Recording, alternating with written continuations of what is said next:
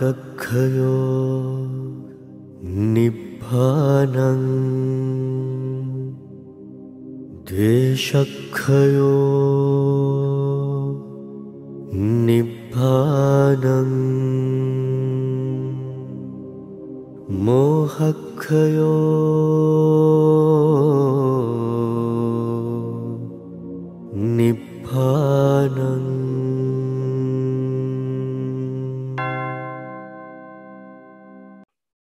සරණයි. උතුම් වූ සතර සතිපට්ඨාන ධර්මය ඇසුරෙන් තමයි අපි මේ දහම් ව්‍යාකරණය මතු කරන්නේ. දහම් ව්‍යාකරණය තුළ ඇතුළත් වන්නේ උතුම් වූ චතුරාර් සත්‍යය. කොයි විදිහට දේශනා කළත් උතුම් වූ චතුරාර් සත්‍ය තමයි. නමුත් විශේෂයෙන්ම අපි මේ වෙනකොට මේ සතර සතිපට්ඨාන දේශනාවට අදාළව විශේෂයෙන්ම සත්‍ය පබ්බේ යටතේ චතුරාර් සත්‍ය පිළිබඳ විභංග දේශනාවක් පවත්වමින් ඉන්නේ. තාම ඒ විභංග දේශනාවේ ඒ විභංග දහම් කොටස් ඔබට මුණ ගැහුණේ නැහැ. චතුරාර්ය සත්‍ය පිළිබඳව අපි තව තවත් දැනගත යුතු දහම් කාරණා.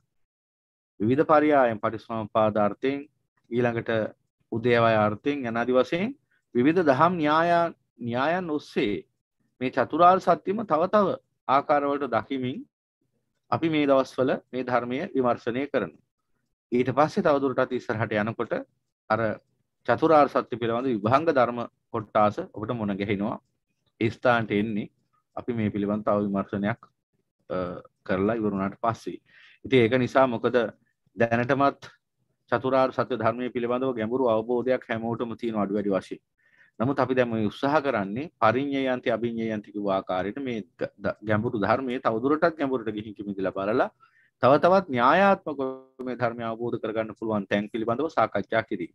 ඒ නිසා අපි අහපු ධර්මයනේ අපි දන්න එකනේ ආයි මොනව අහන්නද කියන පාටු දෘෂ්ටීන්ට පටු අදහස් වලට සීමා වෙන්න එපා. එහෙම වුණොත් ඔබට වටිනා දහම් කාරණා රැසක් අහිමි වෙලා යන්න පුළුවන්. ඒ නිසා පැහැදිලිවම මේ ධර්මයෙන් ප්‍රයෝජනයක් ගන්න නම් අන්න අර වගේ දෘෂ්ටි වලින් නිදහස් වෙන්න ඕන. අපි දන්නවා කියලා හිතන එකම අපේ විනාශයට කාරණාවක්. දන්නවා කියලා අඩුම තරම හිතන්න පුළුවන් රහතන් වහන්සේ කෙනෙක්ට. එතනින් මෙහා කෙනෙක්ට එහෙම හිතන්න පුළුවන් කමක් නැහැ මොකද දන්නවා නම් එතනින් විදිහක් නැහැ. නොදන්න නිසායි දන්නවා ගුවහම පටු අර්ථයෙන් මේ රටේ ලෝකෙ සිද්ධ වෙන දේශපාලන කරගල ගැන දන්න එක නෙවෙයි. මොකද දන්නේ නැත්තේ? මේ අත්භවය ගැන දන්නේ අත්බව වස්තු ගැන දැනගන්න ඕන ටික දන්නේ. ඉතින් දැනගන්න ඕන ටික දන්නේ නැති නිසා තමයි තාම ඉන්නේ ඔය. තාම සංසාරය සැරිසරන්න. ඉති ඒක නිසා දන්නවා කියලා කවදහරි දවසක පූර්ව නිගමනයකට එළඹෙන්න්න පුළුවන්කම ලැබින්. අරිහත් පලට පත් වනාට පස්සේ. එතකං ඒ නිගමනට එල්ලඹෙන් එපා. එතක එතකං ඒ නිගමනට එළඹුණොත් ඉගැන මම දන්නවා මතික මුවනින් දැනගන්න තියෙන කොච්චර කරත් එකම දේෙන්. ඔන්න හොම වත්තින කොච්චර කරත් එකමදී අරමංකු එක්තර අවස්ථාවක මෙහින් වහන්ස කෙනෙක් වන කොච්චරම් කොයිතරම් පටුද කියලා ඇයගේ විචාරය. එක්තර අවස්ථාවක තරුණ මෙහිණින් වහස කෙනකින් ඇහුවාම ත්‍රිපිටකය කියවනවාද කියලා කියවන් නැහැ කිව්වා. එහෙම ලොකුවට.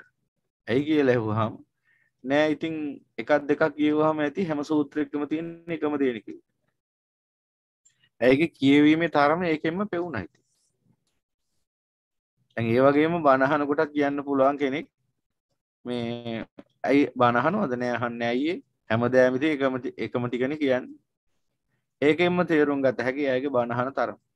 කාඩ හරි පුළුවන් නම් මෙන්න මේ දේශනාටික ඔක්කෝම අහල බලලා කියන්න බලන්න මේ දේශනාවත් එකයි මේ දේශනාවත් එකයි කියල දෙකමක එකම ටිකයි කිය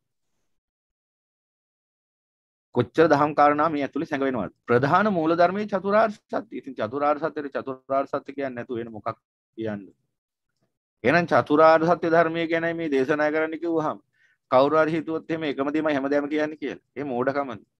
සුවාසෝ දහසක් ධර්මස්කන්ධෙම පදනම් වෙලා තියෙන චතුරාර්ය සත්‍ය මතයි. එතකොට ස්කන්ධ 84000 84000ක් කොහොමද කොට නැගුණේ? එකම දේ නම් මේ හැමදහම් කොටාසයක් ඇතුළෙම තියෙන්නේ. එකම දේ නෙමෙයි සියුම් සියුම් දේ. බොහෝ දේ තියෙනවා. බහුසෘතයි කිව්වේ ඒකයි. බොහෝ දේවල් දැනගන්න ඕන. පොඩ්ඩක් දැනගෙන ඔක්කොම දන්නවා කියලා හිතුවාම අන්න අඥානී බවට පත් වෙනවා. අල්පස්ෘතය බවට පත්වෙනවා මහා බහුස්ෘතයක එන්නවා මහා දේවල් දැනගන්න නම් මහා ප්‍රඥාවක් අවදි වෙන්න නම් නිරන්තරයෙන් මේ ධර්මයට කන් දෙන්න ඕන. හොඳයි. එහෙමනම් ඒ ධර්මයට නිරන්තරයෙන් කන් දීලා නිරන්තරයෙන් ඒ ඇහෙන දේවල් ධාරණය කරගෙන මේ සංසාර දුකෙන් නිදහස් වෙනවා කියන තැන ඉඳගෙන අද දවසේදී මේ අමා ධර්මයට මනමින් කන් දීමේ අභිලාෂයෙන් කන් සුණාත සාදුකම් මානසිකරත හොඳින් ධර්මයට කන් දෙන්න හොඳින් ධර්මයට හොඳින් ධර්මයේ ධාරණය කරගෙන ඊට අනුකූලව නුවණින් හිතමින් කටයුතු කරන්න. ඒ අදිෂ්ඨානය ඇති කරගෙන කවුරු සාදුකාරයක් පවත්තමු අපිට මේ ධර්මය වටිනාකම තේරෙන්නේ නැති හැටි. අද දවසේදී මම ඔබට මුලින්ම පෙන්වා දෙන්න කල්පනා කරා මේ ධර්මයේ වටිනාකම. දැන් බලන්න අපිට පහුගිය කාලේ මට මේ අපේ පන්සලට ආපු යම්කිසි මහත්තයෙක් පෙන්නවා. මේ මොනවා හරි පොලිමක ඉන්නකොට මැරිලා වැටලා කියලා. මොකද්ද පොලිම දන්නේ කොහොම හරි පොලිමක පහුගිය දවසක ඉඳලා මැරිලා වැටලා. මැරිලා වැටලා. මැරිලා වැටලා ඉඳලා තියෙන්නේ මොනවා හරි ගේන්න ගිය වෙලාවක.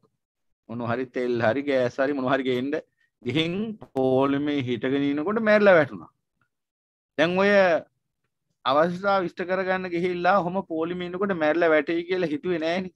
හිතාගෙන ගියා නෙමෙයිනේ. එහෙම ගියා නම් එහෙම ওই ගමන යන්නේ නැතුව තව පැය කිහිපයක් ජීවත් වෙන්න තියෙන්නේ කියලා ඒ වෙලාවේ පොඩ්ඩක් හරි මොනවා හරි දහමක් හරි මිනිහි කරන්න තිබුණ. අඩුම තරමේ කරගන්න දෙයක් නැතුණා මිනිස්සු පිරිත් දා ගන්නවා බයට. පිරිත් ඩිංගක් හරි හාලා මැරෙන්න තිබුණා. එහෙමත් නැතුව නිකම්ම නිකන් අවුවේ. පිච්චි පිච්චි ඉන්න වෙලාවක පිපාසයයි බඩගින්න ඔක්කොම ප්‍රශ්නයි. ලෙඩ රෝගෙන් මතුවෙච්ච යම්කිසි වේදනාවක් නැත්නම් ඒකයි ඔක්කොම උහුලාගෙන අප්‍රමාණ දුකකින් තැවි තැවි ඉන්න මොහොතක. මානසික වශයෙන් අසහනයට පත් වෙලා ඉන්න මොහොතක. ද්වේෂය ආදී මේ විඥාන බහුලව නැගෙන්න පුළුවන් වාතාවරණයක් තුල මොකද අර විදිහට පොලිමේ දුක් විඳින්න ඉන්නකොට සතුටින් නෙවෙයි ඉන්නේ අනිවාර්යෙන් ද්වේෂයෙන් මෝහයෙන් රාග දේශ මෝහය අනාදි වශයෙන් ඒ තුන් ආකාර අකුසල චිත්තයන්ගෙන් තමයි ඔය වෙලාවේ වාසය කරන්නේ. එහෙම ඉන්නකොට තමයි මැරෙන්නේ. දැන් මැරුණාම කොහේ යයිද? දැන් අර රැයට ප්‍රවෘත්ති වල කියනවා ඔක ලොකුවට. ප්‍රවෘත්ති වල කියන්න පුළුවන් අහවල් මෙන්න පුද්ගලෙක් මෙන්න මෙහෙම පොලිමේ ඉන්නකොට මැරිලා වැටුණා කියලා. අපිත් ඕක ඇහුව එච්චරයි. අපි එතනින් එහාට හිතුවේ නෑනේ පොඩ්ඩක්වත්. හිතන්නේ බලන්න අපි කොච්චර මෝඩද කියලා. ඒ කියන්නේ දැන් මිනිස්සු වුණාට ඕ ඥානෙ. දැන් අර ප්‍රවෘත්ති වලට කියනවා මෙහෙම පුද්ගලයෙක් අද දවසේදී හිටගෙන ඉන්නකොට මලා. එච්චරයි. එතනින් එහාට මේ වගේ මේ වගේ මානසිකත්වයක් තුළ මේ මිනිසයා උරුම කරගන්නේ මොනතරම් දුක්ඛ ස්කන්ධයක්ද? මිනිසෙක් වෙයි දායි. සතර අපායට යයි බොහෝ දුරට. ඉතින් ඒ වගේ ඉතින් ඒක ගැන කවුරු හරි වාද කරන්නයි කොහොමද එහෙම කියන්නේ කියලා. එහෙම කියන්නේ ධර්මානුකූලව බලලා ගොඩක් කරුණු කාරණා රැසක් සැලකිල්ලට ගත්තාම එහෙම කියන්න පුළුවන් හැකියාව තියෙනවා. 100ට 100ක්ම මේ චතුපාත ඥාණින් කියනව නෙමෙයි. නමුත් බොහෝ දුරට යන්න පුළුවන් සතර අපායට තමයි. සතර අපායට තමයි යන්න පුළුවන්. දැන් එහෙනම් කල්පනා කළා මම එතනින් එහාට මිදින දුක මොකක්ද කියලා. දැන් අපි අර්ථකථනය කළා අර මිනිස්සයා දුක් විඳලා මැරුණා කියලා. ඇත්තටම දුක් විඳලාද මැරලා තියෙන්නේ කියලා බලා ගන්න පුළුවන්. අර මරණින් පසු ඊළඟ ආත්භවය මොන වගේ එකක්ද කියලා බැලුවනම්. අහිනම් අන්න ඇත්තටම ප්‍රශ්නේ තිබිලා තියෙන්නේ එතන නෙවෙයි. ඇත්තටම නැතුව නැතුව තිබිලා තියෙන්නේ ගෑස් නෙවෙයි ඥානිය. දැන් ගෑස් සිලින්ඩරය ලැබුණා හෝ නොලැබුණා හෝ ප්‍රශ්න විසඳුණාද? විසඳෙනවද? මරණය නතර වුණාද? නෑ. මරණය නතර කරගන්න බෑ. මරණය එදා ඒ මොහොතේ සිද්ධ වෙනවා. මැරෙන්ඩ නියමිතයි. මැරෙන්ඩ නියමිත දවසක ගෑස් ගේන්න ගැච්චරයි වුණේ එමනතු ගෑස් ගේන්ඩ ගිහිල මැරුණ නෙවෙයි. අපි ඕක අර්ථකතනය කරන්න කොහොමද? ගෑස් පොලිමින්නකොට මලා කියල. මතන් තෙල් පොලිමිනකොට මලා කිය දැන් ඔය විදියට හැමෝම මොකක් හරි පොලිමකින්නකොට නිවද බලන්න මැරි. මොකක් හරි. එක බෙහෙත් ගන්න ගිහින් ඉන්නකොට මැරි. එක පාර පාරක යනකොට මැරි. එක බස්ස එක යනකොට මැරි. එක ගෙදර නිදාගෙන ඉන්නකොට මැරි. එක කෑම කනකොට මැරි. එක කෑම ලෑස්ති කරනකොට මැරි. එක රස්සාාව කර කර ඉන්නකොට මැරි. එක ඇසිකිලි ඉන්නකොට මැරි. කොහේ හරි ඉන්නකොටන මැරින් ඒක ප්‍රවෘතියක් එන්නේ කොහොම ප්‍රවෘතියක නෙමෙයි. ප්‍රවෘතිය දැක්කේ නෑ මේ වටිනා මනුස ජීවිතයක් අහිමි වුණ. අයක දැක්කේ නෑ ඒක ගැන අංසු මාත්‍රක වැටහිමන්න අර තියෙනවා කතාවක් අසල් ගේක සොරු ගෙන යනවාදක කුසල් නොකර ඉන්න කුහුල් සිතින් ඉන්නේ තම ගේරැක්. අසල් ගේක සොරු ගෙන යනවා දෙක කුහුල් සිතින් ඉන්නේ තම ගේරැක. අල්ලප ගෙදර මිනිස් හොරු කඩනකොට අල්ලප ගෙදර හොරු කඩාගෙන යනකොට ඒ මිනිසුන්ට විපත්තියක් එනකොට මේ ගෙදර ඉන්න මනුස්සයා අල්ලප ගෙදරනි මට නෙවෙයිනි අපට නෙවෙයිනි අපට මොකෝ? උන්ගෙන ගේ කඩාගෙන යන්නේ අපේ නෙවෙයිනි කියලා තම තමන්ගේ ගෙදර දොර ජනල ටික වහගෙන ඇතුළට වෙලා ඉන්නවා වගේ වැඩක්. අර මිනිස්සු මැල්ල වැටෙනකොට අපි අපි නෙවෙයිනේ මැල්ල වැටෙන මිනිස්සුනි. අපිට මොකෝ? අපි ඔන්න ඔහෙ ඉමු කියලා තාම තව එක සිදුවීමක් විතරයි මේ ජීවිතේ සංසාරේ කියලා හිතාගෙන අපි ජීවත් වෙන්නේ. ගැඹුරින් ඒ දිහා බලන්න පුරුදු වුණේ නෑනේ. ඇත්තටම ප්‍රශ්නෙට විසඳුමක් හොයන්න ගිහිල්ලා නෙවෙයි මිනිහා මලි. සංසාරේ ඉඳලා හිපි ගෑස්ද? තෙල්ද? නිවනද? එහෙනම් ඒකයි භාගතුන් වහන්සේ පෙන්වා දීපු ධර්මය අපි දැක්කේ නෑ. දැක්කා නම් ඔහොම දේවල් වෙන්නේ නෑ ජීවිතේට. මොකද ධර්මය අවබෝධ කරගෙන ධර්මානුකූලව ජීවත් වෙනවා නම් ඊට අනුකූල සැප විපාක ජීවිතේ දෙන්නේ. එහෙනම් කොහොමද ජීවිතේ දුකක් බවට පත් වෙන්නේ? ඒක නිසා මෙන්න බලන්න මැරෙන්න වෙන්නේ කොහොමද? මැරෙන්න වෙන්නේ ඉබාගාති ගිහිල්ලා ධර්මයේ දන්නේ නැත්තම්. මැරෙන්න වෙන්නේ ඉබාගාති ගිහිල්ලා මහා පාරවල් වල හරි කොහේ හරි කමන්නේ ඇවිද ඇවිද ඉන්නකොට කොහේ හරි ඉබාගාති ගිහිල්ලා සාන්තියෙන් සතුටින් සැනසීමෙන් පිරිනිවන් මංචකයක සැතපීලා නම් පිරිනිවන්ටපත් වෙන්න හම්බෙන්නේ ඔය යන රටාවට මිනිසයන්ට. කොහේ හරි ගිනිවලක් ගාවදී මැල්ල ඒ වලට වැටෙනවා. එච්චරයි වෙන්නේ. ඔන්න බලන්න ධර්මයේ පිළිබඳ අවබෝධයක් නැති යුගයක සම්මා සම්බුදු පියාණන් සම්මා සම්බුදු පියාණන් වහන්සේගේ ධර්මයේ පිළිබඳ අවබෝධයක් නැති කාලෙක මිනිස්යෝ සුගතිගාමි වෙන්නවත් අඩුම තරම සුගතියකට යන්නවත් ඔය කවදා හරි දවසක සුගතියකටවත් ගිහිල්ලා සැප විඳින්න ඕන කියලා හිතාගෙන යම් කිසි දෙයක් කරන්න ඕන නම් ඒ කරන්න ඕන දේවත් මොකද්ද කියලා දන්නේ බුදුරජාණන් වහන්සේ උපදින්න බුදුරජාණන් වහන්සේ බුද්ධත්වයට පත් වෙන්න ඉස්සෙල්ලා දඹදිව පහළ වෙන්න ඉස්සෙල්ලා හිටපු මිනිස්සු කොහොමද කටයුතු කළේ ඒ බව දැක්කෙන අපුරු සූත්‍රය තියෙන සංයුක්ත නිකාය මහාවග්ග පාළිය සෝතාපට්ටි සංයුක්තේ රජකාරාම වර්ගයේ උදේගාමිනී සූත්‍රය කියලා. මේක තියෙන සංයුක්ත නිකාය. එතකොට මෙන්න මේ උදේගාමිනී සූත්‍රය මෙන්න බලන්න ධර්මයේ නොදන්නා තැනක මිනිස්සු හැසිරෙන ස්වභාවය හැටි ඒ මහා අඥාන අන්ධකාරය තරම් බලා ගන්න. බ්‍රාහ්මණ භික්කවේ උදයගාමිනින් නාම පටිපදං පඤ්ඤපෙන්ති තේ සාවකං ඒවං සමාදපෙන්ති. ඒහි තුවං අම්හෝ පුරිස ඒහි තුවං අම්හෝ පුරිස කාලස්සේව උට්ටාය පාචීන මුකෝ යාහි. සෝත්වං මාහ සොබ්බං පරිවජ්ජයෙහි. මා පපාතං මා කානු මා කණ්ඩ කටානං මා චන්දනීයන් මා ඔලිගල්ලන් යත්ත යානීවා පපත්තෙයාසී තත්ත්වය මරණං ආගමෙයාසී ඒවන්තුවන් අම්හෝ පුරිස කායන් කායස්ස බේදා. පරං මරණා සුගතින් සක්දං ලෝකං උපජ්ජස්සි උබ්බ උපජ්ජස්සන්ති සී. යන අදී වශයෙන්. ඔන්න ඔහොම දැක්කේනවා. දැන් මේ පාලි මේ පාලි වචන ටිකෙන් කිව්වේ මොකද්ද? බුදුරජාණන් වහන්සේ පෙන්නනවා මහණෙනි මෙන්න මෙහෙම බ්‍රහ්මණයෝ ගාව උදේගාමිනී කියලා ප්‍රතිපදාවක් තියෙනවා. මේකෙන් මොකද්ද කියන්නේ? දැන් මේ බලන්න කොච්චර හොඳට කල්පනා කරන්න. මේක නිකන් අහලා අහලා කණෙන් අහලා නිකන් ඔය බැහැර කරන්න නෙමෙයි කියන්නේ. හොඳට හිතන්න මේ ගැන බලන්න ඔබ කොච්චර වාසනාවන්තද කියලා. මේ බෞද්ධය හැටියට මේ විශේෂයෙන්ම මේ ධර්මද්වීපය කියන මේ රටේ ඉපදිලා තියෙන මේ මිනිස්සු මොන තරම් පුණ්‍යවන්තද බලන්න. නමුත් ඔවුන් ඔවුන් බලන්න ඔවුන්ගේ පුණ්‍ය මහිමය ගැන ඔවුන් දන්නවද කියලා නැහැ ඔවුන් හැසිරෙන විදිහ ඔවුන්ට මේ පොඩි දෙයක් ජීවිතේ නැති එක මහා විශාල විනාශයක් වශයෙන් තමයි පේන්නේ එක වේලක් දෙවේලා කණ්ඩ බැරි වුණොත් එහෙම මුළු ජීවිතේම කඩාගෙන වෙන සංසාර පැතුම ගිලිහිලා වැටුණා කියලා හිතනවා. කොසකින් එක වේලක් ඉන්න හිතුනොත් එහෙම සිද්ධ වුණොත් එහෙම. ඒ තරම් අඥානයි. බලන්න ඒ වගේ අඥාන පුරුෂයෝ තමයි මේ ලෝකේ සාමාන්‍යයෙන් ඉන්නේ සම්මා සම්බුදු පියාණන් වහන්සේ කියන ලෝකේ පහළ වෙලා නැත්තම්. ඔන්න බලාගන්න ඔබම සම්මා සම්බුදු පියාණන් වහන්සේ නම පහළ වෙච්ච නැති කාලෙක නැත්තම් ඒ වගේ බුදු ශූන්‍ය කාලයක ලෝකේ ඉන්න මිනිසයන්ගේ ඥානි තරම දැන් මේ සම්මා සම්බුදු පියාණන් වහන්සේ පහළ වෙලා බොහොම සුළු කාලයක් ඇතුළත සිද්ධ වෙච්ච දෙයක්. එතකොට සම්මා සම්බුදු පියාණන් වහන්සේගේ ධර්මය ලොකුවට පැතිරලා තිබුණේ නැහැ ලෝකෙ. එතකොට බමුණන්ගේ පරිබ්‍රාජකයන්ගේ නිගණ්ඨයන්ගේ ධර්මය බහුලව පැතිරලා තිබුණා. එහෙම පැතිරලා තිබිච්ච බ්‍රාහ්මණ ධර්මයකින් ඉගැන්වීමක් මේ තියෙන්නේ. මොකද්ද මේ භාගතුන් වහන්සේ පෙන්වන්නේ? උදයගාමිනී කියලා ප්‍රතිපදාවක් තිබුණා ඒ කාලේ බමුණු ගාව. මේ බමුණ මොකද්ද මේ ප්‍රතිපදාවෙන් කරන්නේ? මෙන්න මේකයි කරන්න ඕන බලා ගන්න. ධර්මය නැති දැන තියෙන විනාශය. ඒ හිතුවන් අම්භෝ පුරිස එම්බා පුද්ගලය මෙහි එව කියලා ආරාධනා කර. ඒ කියන්නේ බමුණු ගාවට ගියාම යම්කිසි සැපේ පිළිබඳ මාවතක් අහගන්න බමුණු දන්නේ ස්වර්ගයට යන හැටි කියන්නේ. දන්නව නෙවෙයි. දන්නවා කියලා හිතන් ඉන්න එකක් දන්නේ නැහැ. ඉතින් බමුණු එහෙම මිනිසයන්ට අඬ ගහනවා. එහිතුවන් අම්බෝ පුරිස කාලස්සේ උට්ටාය පාචිනමකෝ යාහි. උදේ පාන්දරම අවදි වෙලා වෙලා උදේ පාන්දරම අවදි වෙලා නැගෙන ප්‍රධාන දිසාව බලාගෙන නැගෙනහිර කියමුක නැගෙනහිර දිසාව බලාගෙන හිරු පායන පැත්තට ප්‍රමුඛ දිසාවට යන්න හොම පාචින මොකෝ සෝහිතං සෝ තං මා සොබ්බං පරිවජ්‍ය යන ආදි වශයෙන් ඉතින් එතනින් එහාට තියෙන මොකද්ද? ඔහොම ඉස්සරහට යන උදේම නැගිටින්න. උදේම නැගිටලා හිරු පායපු පැත්තට පෙර දිගට මුහුණලා යන්න හොම. දිගටම යන්න. යනකොට මොනවද හම්බ වෙන්නේ? බොහෝ දේවල් හම්බ වෙනවා. මොනවද හම්බ වෙන්නේ? ප්‍රපාත හම්බ වෙනවා, කානු හම්බ වෙනවා, මඩ වගුරු හම්බ වෙනවා, කටු කොහොල් හම්බ වෙනවා, කුණු අලවල් හම්බ වෙනවා, ගමේ ඔක්කොම කුණු දාන ගවරවල හම්බ වෙනවා. මෙන්න මේ විදිහට එක එක දේවල් හම්බ වෙනවා දැන් මොහොම යනකොට ඉස්සරහට. දැන් ආයි හැරෙන්න බෑ.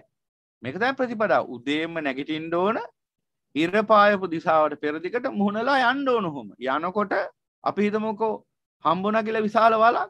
ආ මෙතන වලක්. මෙතන මගහැල්ල යන්න බෑ. එහෙම බෑ. වලට පනින්න ඕන. එක්ක වලට වැටිලා වලින් නැගිටලා යන්න පුළුවන් නම් ආයි යන්න ඕන. ඔහොම යන්න ඕන. කටු කම්බි අපි හිතමුකෝ මොනවා හරි දුන කටු කටු ගොඩක් කියලා. බෝතල් කටු ගොඩක් හරි මොනවා හරි ඒ කාලේට අනුකූලව ඉතිච්ච මොනවා හරි කටු කොහොල් තිබුණා කියමුකෝ. එතකොට ඒ කටු කොහොල් මගහරින්න බෑ. කටු කොහොල් උඩින් යන්න ඕන. කොහෙවත් අතරමැකින් යන්න බෑ. කටු කොහොල් දැන් මොනවා හරි කටු බෝතල් කටු ටිකක් තුන්නම් ඒක උඩින් යන්න ඕන. ඒක මගහැල්ල යන්න බෑ. ඊළඟට තව එහාට යනකොට මොනවා හරි තව කටු ගාලා තිබුණොත් ඒ කටු ගාලා හරහා යන්න ඕන. මගහැරලා යන්න බෑ. මේ විදිහට හම්බෙන ඕනම දුෂ්කරතාවක් ඉඳගෙන යන්න ඕන. වතුර වලක් හම්බුනොත් ඒක හරහා යන්න ඕන. ඒක ගිලුනොත් ඒක ගිලෙන්න ඕන. මැරෙන්න ඕන. ඔය විදිහට දැන් ඔහොම යනවනේ. මඩේ යනවනම් මඩේ බැහැගෙන යනවා. අසුචි වලක් හම්බුනොත් ඒක බැහැගෙන යන්න ඕන. ඔය විදිහට හම්බෙන්නේ මොනතරම් අසුබ දෙයක්ද, කටුක දෙයක්ද? ඒ සෑම දෙයක්ම නොතකා මේ ගමන යන්න ඕන ඉස්සරහට. මහ ඔහොම යන්න ඕන බම් කියලා මිනිසුන්ට කියන මේ බමුණ. එහෙම ගියාම යනකොට යත්ත යානීවා පපත් පපේ පපතේයාසි යත්ත යානීවා පපතේයාසි තත්ත්වය මරණං ආගමෙයාසි අනාදි වශයෙන්. ඒ කියන්නේ දැන් ඔහොම යනකොට මොකක් හරි ප්‍රපාතයක් හම්බ වෙලා දැන් පැන්න වැටුණා. දැන් ඒකෙන් මැරෙන්න ඕන. ආයි ගොඩ එන්න බෑ. ඒකෙන් මැරෙන්න ඕන. එතකොට මොකද වෙන්නේ? ඒවන් තං අම්භෝ පුරිස කායස්ස බේදා පරං මරණං සුගතින් සග්නං ලෝකං uppajjati අනාදි වශයෙන්. අන්න බලන්න. බමුණන්ගේ මෝඩ අදහස. මේ විදිහට මෙන්න මේ මේකට කියන උදේ ගාමිනී ප්‍රතිපදාව කියලා. උදේම නැගිටලා ඇවිදගෙන යන ප්‍රතිපදාව. මේ ප්‍රතිපදාව වුණේ අනුගමනය කරපු මිනිස්සු ඒ කාලේ ඉඳලා තියෙනවා. ඉඳලා එහෙම මැරිලා තියෙනවා. සුගතියට යයි කියලා හිතනවා. දැන් ඔබට පේන්නේ නැද්ද අර ගෑස් සිලින්ඩරේ හරි අර තෙල් ටික හරි හොයාගෙන ගිහිල්ලා අතරමඟ පාරේ මැරිච්ච මිනිහාගේ මේ මේ මිනිහාගේ අතර වෙනසක් නැහැ කියලා. දෙන්නම කරලා තියෙන එකමද මේ මිනිහා සැප හොයලා තියෙන අර මිනිහා සැප හොයලා තියෙන්නේ. දෙන්නම අවසානයේ අතරමඟ මැරුණා. සැප හොයන්න ගිහිල්ලා. දැන් මේ මේත් ඒකම නෙමෙයිද බලන්න. දැන් ওই විදිහට ඇවිදගෙන යන්න ඕන. කොච්චර දුෂ්කරතා තිබුණත් නතර වෙන්න බෑ ඇවිදගෙන යන්න ඕන. ඔහොම ඇවිදගෙන ගිහිල්ලා කොහේ හරි ප්‍රපාතයකදී බැරිම වුණාම ඒ ප්‍රපාතේ වැටිලා මැරෙන්න ඕන. වතුර ගිලිලා හරි, මඩේ ගිලිලා හරි, නහයි ඔළුවේ මොලේට එනකම් මඩ ගිලිලා මඩ ගිහිල්ලා හරි. අර මේ මෑතක මේ මිනිසෙක් මේ පැත්තේ මිනිසෙක් මැරුණා මේ අනුරාධපුරේ වැඩ කර කර ඉන්නකොට මීමැස් මොරේ හැදලා වැටුණා මඩට. කවුරුවත් දැනන් හිටියේ නැහැ. අවසානි පස්සේ ගෙදර මිනිස්සු නැති නැති තැන ගෙදරාව නැති තැන ගිහිල්ලා හොයලා බලනකොට මඩේම මැරලා හිටියා. මොනින් අතට වැටිලා. නහය ඇතුලෙන් මඩ ගිහිල්ලා මොලේට නිකම් ඉතින් ගිහිල්ලා හැම තැනම ගිහිල්ලා මුළු ඔළුවම මඩේ ගිලිලා. ඉතින් අවසානි මැරුණා මඩේම. අන්න බලන්න. කොතන වැටලා මැරෙනවද දන්නේ නැහැ. ඔහොම මැරලා වැටෙනවා. කොයි වෙලාවක හරි. දැන් මේ මෝඩ බමුණු කිව්වා ස්වර්ගයට යන්න පාරක් අපි දන්නවා ඒ පාර තමයි අර විදිහට උදේම නැගිටලා ওই විදිහට ඇවිදගෙන යනකොට කොහේ හරි ප්‍රපාතක වෙලා දහදුකක් ඉඳලා මැරුණොත් අන්නේ මිනිහා ගිහිල්ලා ස්වර්ගෙ උපදිනවා කියලා මොන තරම් අඥාන මනුස්ස කොට්ටාසියද බලන්න සම්මා සම්බුදු පියාණන් වහන්සේ පහළ වුණ නැත්නම් අපිත් ওই ගොඩේ තමයි අපිත් එහෙනම් ওই අඥාන රැළම තමයි ඔය අඥාන රැළත් එක්ක එහෙනම් අපිත් ওই වගේම වැඩ කරනවා අදට සම්මා සම්බුදු පියාණන් වහන්සේ නම් වූ විශ්වයේ අග්‍රමහා ශාස්ත්‍ර උතුමන් වහන්සේ පහළ වෙලා මිනිසයන්ට මේ ඥානෙ උදා කර ගැනීම පිළිවෙත කියලා දුන්නේ නැත්නම් අපිත් එහෙනම් ওই අඥාන රැළත් එක්ක අදත් අපි එහෙනම් අපිත් එහෙනම් ওই උදේගාමිනී ප්‍රතිපදාව තුළ ගමන් කරලා අපිත් ඔහම ගිහිල්ලා ඉවරලා මහා පාරවල් ගාන වලවල් ගාන කුණු වලවල් ගාන අසුචි වලිත් වැටලා මැරෙනවා හින්න. එහෙනම් ඉදන එහෙම වැටලා මැරෙලා සුගති මොන තරම් අඥාන මානසිකත්වයක්ද බලන්න. එහෙම බලන්න ඒ වගේ මහා අඥාන අපි නිදහස් කරපු ධර්මය කාගේ ධර්මයේද? සම්මා සම්බුදු පියාණන් ගමා ධර්මයේ. එහෙනම් මතක තියාගන්න යුගයෙන් යුගයට කල්පෙන් කල්පයට මහා කල්පෙන් මහා කල්පයට මිනිස්සු ඥානණී වෙන්නේ සම්මා සම්බුදු සම්මා සම්බුදුරජාණන් වහන්සේලාගේ ඥානෙන් මිසක් අන් කිසිම කෙනෙක්ගේ ඥානයකින් නෙවෙයි. අන් සියලුම දෙනාගේ ඥාණයෙන් උනි ඥානෙ වෙන එක නෙවෙයි අඥාන වෙන එක තව තවත්. මොකද අසත්පුරුෂ ඇසුරුමයි ලෝකෙන් ලැබුණේ. එහෙනම් බලන්න සම්මා සම්බුදු පියාණන් වහන්සේගේ සත්පුරුෂ ධර්මයේ මුණ ගැහෙනකන් අපි කොච්චර අඥාන විදිහටද කටයුතු කරලා තියෙන්නේ. භාගතුන් වහන්සේ දේශනා කරනවා මහණමි බමුන් මෝඩ තකදිරු බමුණන්ගේ මේ ක්‍රමේ නෙවෙයි නිවන් දකින්න ක්‍රමයක් තියෙනවා. නැත්තම් මේ උදේගාමිනී කියලා ප්‍රතිපදාවක් තියෙනවා. හැබැයි මෝඩ බමුණු අනුගමනය කරන්නේ ඒක නෙවෙයි. තංකෝ පණේතම් භික්කවේ බ්‍රහ්මණම් බාල ගමේ ගමන මේතම් බාල ගමන මේතම් මූහල ගමන මේතං. න නිබ්බිදායන වීරාගායන නිරෝධායන උපසමායන අභිඥායන සම්බෝධායන නිබ්බානාය සංවත්තන්ති. මහනෙන මෙන්න මේ මෝඩ බමුණන්ගේ මේක බාල ගමනක්. මුලා ගමනක්. මේ විදියට ගිහිල්ලා කොයිද සැපයක් ලැබෙන්නේ? මේ විදියට ගිහිල්ලා දුක විතරයි ලැබෙන්නේ. අඥානික වශයෙන් මැරෙන්නේ අර මොහොතේ. කිසිම දෙයක් පිළිබඳ විචාර බුද්ධියක් නැති මෝඩයෙක් වශයෙන් අර මොහොතේ මැරෙන්නේ කල්පනා කරලා බලන්න. කිසිම දෙයක් තේරුම් ගන්න පුළුවන් මිනිහෙක් කරන වැඩක්ද බලන්න අර. ඉතින් එතකොට එහෙනම් බමුණන්ගේ මෝඩකම තරමත් හිතා ගන්න පුළුවන්. එතකොට ඒ වගේ මෝඩ ගමනකින් බුදුරජාණන් වහන්සේ දේශනා කරන මේ වගේ බාල ගමනකින් මේ අඥාන ගමනකින් මේ වගේ මෝඩ ගමනකින් මූහල ගමන මේතා. බාල ගමන මේතම් මූහල ගමන මේතම් බාල අඥාන ගමනකින් මූල මුලා වෙච්ච ගමනකින් මෝඩ ගමනකින්. මොකද්ද යහපතක් වෙන්නේ නැහැ මහන්. ඒක කවදාවත් මේ විරා නිබ්බිදාව පිණිස. ඒ කියන්නේ මේ පංච උපාදානස්කන්ධය ගැන මේ සංසාරය ගැන ඇත්ත දැකලා කලකිරීම පිණිස විරාගය පිණිස මේ ආස්වාදය ඇසුරු නොකිරීම පිණිස නිරෝධය පිණිස රාගදේශ මොහ නූපදීම පිණිස උපසමාය හිත සංසිත ගැනීම පිණිස න අභිඥා උසස් ඥාන උපදවා ගැනීම පිණිස න සම්බෝධාය අවබෝධය පූර්ණ කර ගැනීම පිණිස න නිබ්බානාය ඒ සදාතනික නිවන පිණිස සංවත්තන්ති. හේතු වෙන්නේ නැහැ. න යනාදි වශයෙන් යෙදලා තියෙන මුලට. ඒ කියන්නේ ඒක වෙන්නේ නැහැ. එහෙනම් ඒ විදිහට කටයුතු කරන අඥාන අවිචාරශීලී මිනිසයන්ට කිසිම දෙයක් ලැබෙන්නේ නැහැ කියලා නේ කිව්වේ.